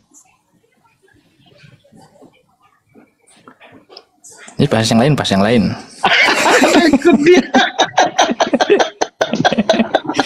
lah itu kan nah, itu internal tuh, biarin lah. Oke, makanya supaya selamat kan keluarga udah pada muslim tuh, Bro Admin. Apalagi udah disunat. Orang disunat katanya Paulus kan Galatia 5 ya 2. Bagi orang ya, bersunat, Kristus orang tidak Jawa berguna bagimu. Udah Kristus nggak berguna bagimu, udah. Iya, salah apa? Oke, lah, Ardiansa, salah. Ah, apa adalah sih? Sama bermoran tadi itu main pinggir jurang itu. Oh ini Bang Stanley tuh ternyata tuh. Iya Bang Bro Admin. Nah, Oh, kita mau iya, main iya. pinggir jurang kah Bang? Bang Bro, main pinggir jurang lah kali-kali Bang. Wah janganlah. Bahaya pinggir jurang nanti kepleset. Bahas Katolik Protestan sama restorasi yuk. Tak usah kalau itu saya tak nggak ikutan. Takut dia. Iya lagian nggak boleh nggak boleh di inilah. Kembali lagi bersama Fandi Ahmad live. Assalamualaikum warahmatullahi wabarakatuh. Bang Ardiansyah. Waalaikumsalam Kang Dito. Disapa dulu ini eh, Bang Stanley disapa dulu ini ada yang baru naik tadi El Imans. Ini Kristen ini. El Imansyah. El Imansyah. Selamat sore, selamat malam. Le. Ya, mat sore jelang malam, saudaraku. Ya, jadi bagaimana Le? Masih menuhankan anak manusia Le? Kok langsung naik? Kok itu yang ditanya-tanya? ya silakan lanjutkan gitu, Bang Stanley atau Bang Ardiansyah silakan. Aduh. Iya iya iya. Ya kalau ditanya tentang kitab suci ya kebanyakan orang Kristen itu eh, menghindar gitu. kebanyakan ya bukan semua menghindar gitu karena mereka juga sebenarnya bingung yang mana yang benar yang 66 atau yang 73 kalau sampai ternyata yang benar adalah 73 berarti pengurangan itu adalah salah dan kalau sampai yang benar adalah adalah 66 berarti yang penambahan itu adalah yang salah Kedua-duanya memiliki kesempatan salah dan kesempatan benar, kemungkinan salah dan kemungkinan benar. Artinya kedua-duanya adalah mungkin. Kitab kemungkinan, kemungkinan salah dan kemungkinan benar. Belum pasti gitu loh. Makanya kenapa ada deuterokanonika, ada apokrifa. Nah, yang siapakah otoritas yang berhak gitu loh untuk mengapokrifkan oh ini apokrif ini ini apokrif ini. Roh Kudus. Nah itu. Roh Kudus. Susah gitu ya teman-teman ya. Susah sekali gitu lah mengimani sesuatu yang 78 Iya, ada yang ada yang 80. Iya, 80 sa- berapa ya? 80 Ethiopia ya. Ethiopia kan? 81 atau berapa itu? Mormon 93. Nah, yang Oh, Mormon Mormon 93. Waduh. Nah, itu. Nah, andai kata ada andai kata nih, nih aku tanya ke teman Kristen di sini, andai kata ada orang yang ingin masuk Kristen. Kemudian di situ ada Katolik yang 73 kitab, ada Kristen Protestan yang 66 kitab, Mormon 90 kitab, Ethiopia berapa? 81 kitab. Itu kira-kira Kristen mana yang Bro Admin sarankan? Gimana gimana? Kalau kalau ada orang mau masuk Kristen, hmm. ah mau pindah, Bro Admin ada beberapa pilihan. Satu, Protestan yang kitabnya 66, dua, Katolik yang kitabnya 73, tiga, hmm, eh, apa tadi? Ethiopia yang kitabnya 81 ya kalau nggak salah ya. Kalau salah di dikoreksi saya. Dan juga Mormon yang kitabnya 90 berapa itu? 90-an. Nah, itu kira-kira Bro Admin menyarankan masuk yang mana? Ya yang penting yang diakui negara wis boleh Katolik boleh Bukan soal yang penting, yang mana gitu loh. Saya nggak tanya yang penting, bukan. Saya nggak tanya Bedanya penting atau tidak. Saya tanya menyarankan yang mana. ya, itu pilihan ya dua-duanya Ya, boleh, makanya itu boleh, pilihan Kristen kan. boleh, begitu Iya, sarannya kan Bro Admin ke mana? Katolik kan begitu kalau saya kebetulan Katolik keluarganya juga Berarti disarankan Katolik. Ya kalau pertanyaannya ke saya ya Katolik lah tapi Kristen juga enggak apa-apa sih Ya, kalau Sama-sama. ditanya yang mana, kalau kalau dia bertanya yang mana yang benar gitu gimana? ini semua benar Oh, semua benar. Berarti Admin juga bisa bisa masuk Protestan juga kan? Boleh kan? secara liturgi sih ya sebaiknya kalau Katolik ya ke gereja Katolik begitu Enggak. Kalau Bro Admin bilang semuanya benar, berarti nggak ada yang salah kan? Nggak ada yang salah Nah, kalau nggak ada yang salah berarti semuanya benar kan? iya semuanya benar Nah, kalau semuanya benar berarti boleh dong Bro Admin masuk Protestan. kalau maksudnya masuk Protestan tuh maksudnya apa menolak Iya, pindah pindah ke Protestan. Iya, dari Katolik pindah ke Protestan boleh dong. Sah-sah Ya, aja kan? Enggak kan saya secara administrasi sudah di Oh, administrasi itu urusan-urusan nanti, bukan itu yang saya bukan itu yang saya bahas, bukan administrasi. Bukan kita nggak ke administrasi kita, tenang aja. Jadi narasi Bro Admin tadi kan semuanya benar, berarti nggak ada yang salah kan? Nah kalau nggak ada yang salah berarti Bro Admin bisa dong pindah ke Protestan tanpa disalahkan karena benar, betul? ya itu kan benar tidak kalau Kristen gimana sih? Enggak, Admin enggak, ini- kan beda di dogmanya sih saya mengakui deuteronokanika Saya nggak bahas dogma. Saya nggak, udah nggak usah bahas ke dalam-dalam. Kesimpulannya dari semua pembahasan itu adalah semuanya benar. Itu kesimpulan gitu loh. Bener nggak? iya semuanya benar lah Nah, kesimpulannya semuanya benar. Bu Admin kan Katolik. Boleh dong Bu Admin pindah ke Protestan tanpa disalahkan karena semuanya benar. Boleh dong. Maksudnya pindah nih yang bagaimana sih juga Iya pindah ke Protestan, nggak usah ke Katolik lagi. yang Atau kapan-kapan masuk Katolik lagi, kapan-kapan masuk Ethiopia, kapan-kapan masuk Mormon, boleh dong. Ya tidak, lah itu tadi makanya konteks masuk itu Gimana sih? Misalnya nih, misal nih, saya orang Katolik masuk Kristen Protestan maksudnya masuk gerejanya, Enggak. masuk ikut liturginya, Jadi masuk pindah pindah agama pro- pindah agama Protestan yang kitabnya 66. Pindah agama Kristen Ethiopia yang kitabnya 81-an. 80-an.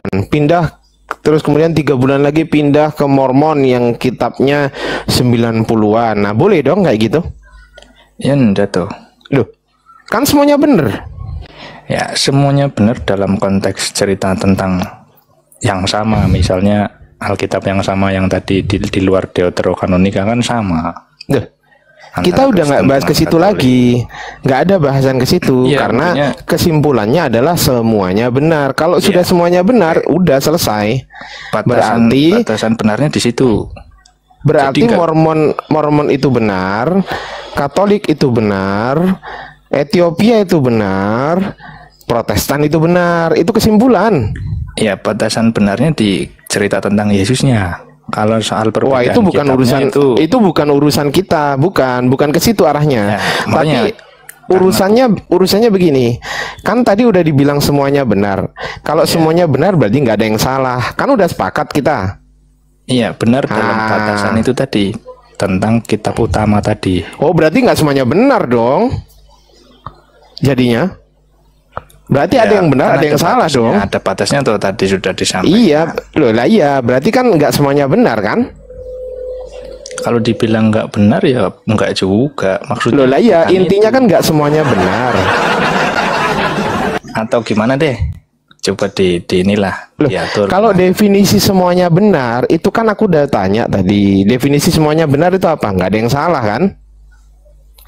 Ya, Ya kalau nggak ada yang salah berarti semuanya benar kan? Iya.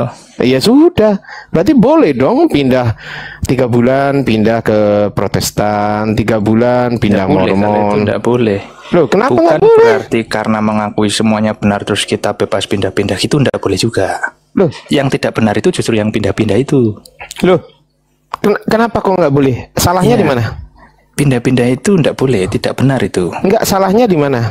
Salahnya? Pertama, premis yang pertama, pertanyaan jenengan atau uh, Premis jenengan, atau pertanyaan? pertanyaan jenengan kan tadi soal kebenaran dalam ajaran. Ya kesimpulannya kan Terus- benar. Terus yang kedua dalam tindakan. Yang kedua tidak bisa mewakili yang pertama, nggak bisa. Yang tindakan itu salah, pindah-pindah itu salah. Secara Kenapa tindakan. salahnya? Salahnya kenapa? Karena berpindah-pindah. Loh lah iya, berpindah itu disalahkan tuh karena apa? Alasannya? Ya dia berarti nggak konsisten loh. Gak konsisten dalam? Maksudnya begini, yang Nggak konsisten yang dalam kebenaran gitu? Enggak enggak. Yang yang kedua dengan yang pertama itu tidak tidak ada hubungannya. Enggak, ini nggak konsisten dalam kebenaran atau nggak konsisten dalam apa ini? Bukan nggak konsisten, maksudnya nggak ada hubungannya begitu. Tadi Kalau katanya nggak konsisten, gimana sih? Enggak, kalau jenengan memaksakan menghubungkan itu, ya nggak bisa. Oh berarti nggak jadi satu- nggak konsisten yang tadi? Nggak konsisten tadi nggak jadi ya? Dihapus ya? Yang yang yang satu soal tindakan, ya itu nggak benar loh tindakan. Oke, nggak benar. pertanyaan Masa saya, kenapa kenapa tindakan berpindah-pindah itu kok di, dikatakan kok nggak benar itu kenapa? Alasannya apa? Ya, alasannya Bro admin Ya, kan dari Bro admin kan dari agama benar pindah ke agama benar. Kan nggak ada yang salah. Bener nggak narasi saya? Protestan bener nggak? Bener. Katolik bener nggak? Bener. Nah, Bro admin di Katolik agama yang benar, Oke, benar. gini, gini, Bro gini. admin sabar, sabar, sabar. Bro admin sabar, sabar. Kemudian dari agama Katolik yang benar ini, Bro admin pindah ke agama Protestan, Kristen Protestan yang notabene benar juga. Nah, kalau dari benar pindah ke benar itu salah atau benar? Tidak boleh, tidak boleh pindah-pindah seperti itu. Di- Saya nggak tanya boleh atau enggak. Itu kalau boleh atau enggak itu urusan keluargamu nanti jadinya. Saya nggak tanya saya Bro admin dari Katolik agama benar pindah ke agama Kristen Protestan agama benar. Dari benar pindah ke benar. Benar atau salah itu?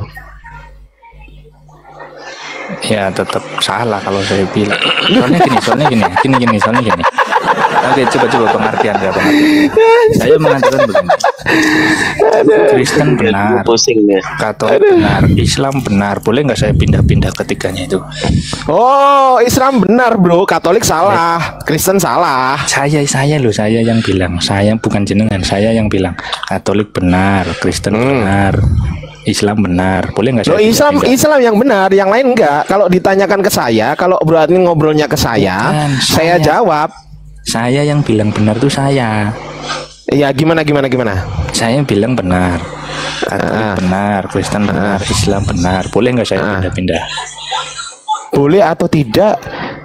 Li- kan sama-sama benar tuh saya yang bilang Itu urusan kamu sama keluargamu. Aku kan nggak bahas boleh atau enggak. Gimana sih? lah tadi saya Aku nggak tanya gitu, boleh atau tidak, benar atau tidak, ben- benar atau salah gitu loh. Kan tadi kan lah kalau saya pindah-pindah benar apa salah ketiga-tiganya agama benar nih menurut saya ah, menurut kamu agama benar. iya Menurut kamu agama benar, betul? iya Nah, benar apa yang mana yang paling benar? pindah-pindah Yang mana yang paling benar dari ketiga itu? ya sama semuanya benar Oh nggak bisa karena yang satu tidak menyembah manusia, yang dua menyembah manusia. Eh, ya benar nggak kalau saya pindah-pindah Loh, ya salah karena apa? Karena yang yang kedua, karena yang dua itu Katolik sama Kristen Protestan itu penyembah manusia. Kalau Islam penyembah Tuhan. ya berarti apanya yang salah Loh ya karena dari kamu dari benar pindah ke kamu dari salah pindah ke benar. Kalau dari salah pindah ke benar benar, tapi kalau dari benar pindah ke salah lagi ya salah. Loh, Contoh, salah tadi saya contoh, sudah Bro admin, contoh ya, Bro benar. admin dari Katolik, dari Katolik pindah ke Protestan, benar atau salah? Karena menurut narasi Bro admin adalah benar, maka benar. Tapi kalau Bro admin ngobrolnya sama saya, Bro admin ngobrol, sabar, sabar. Bentar-bentar, Bang Ardiansyah, Admin, eh, Bang Suma, Bang Fandi sebagai host dan semuanya Bang eh, Kores ya. Untuk yang di Lensados Muslim kita udah tiga jam lebih ya. Kita akhiri dulu. Kita kalau yang mau lanjut kita geser ke channel ini baru Islam. Jadi langsung jangan ke mana-mana, langsung saya geser dari sini ya. Terima kasih. Nanti jika ada tutup dan mainkan sekarang, tinggal klik mainkan sekarang. Terima kasih. Wassalamualaikum warahmatullahi wabarakatuh.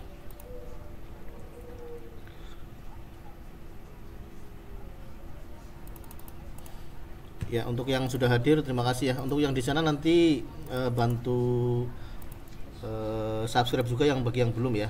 Terima kasih.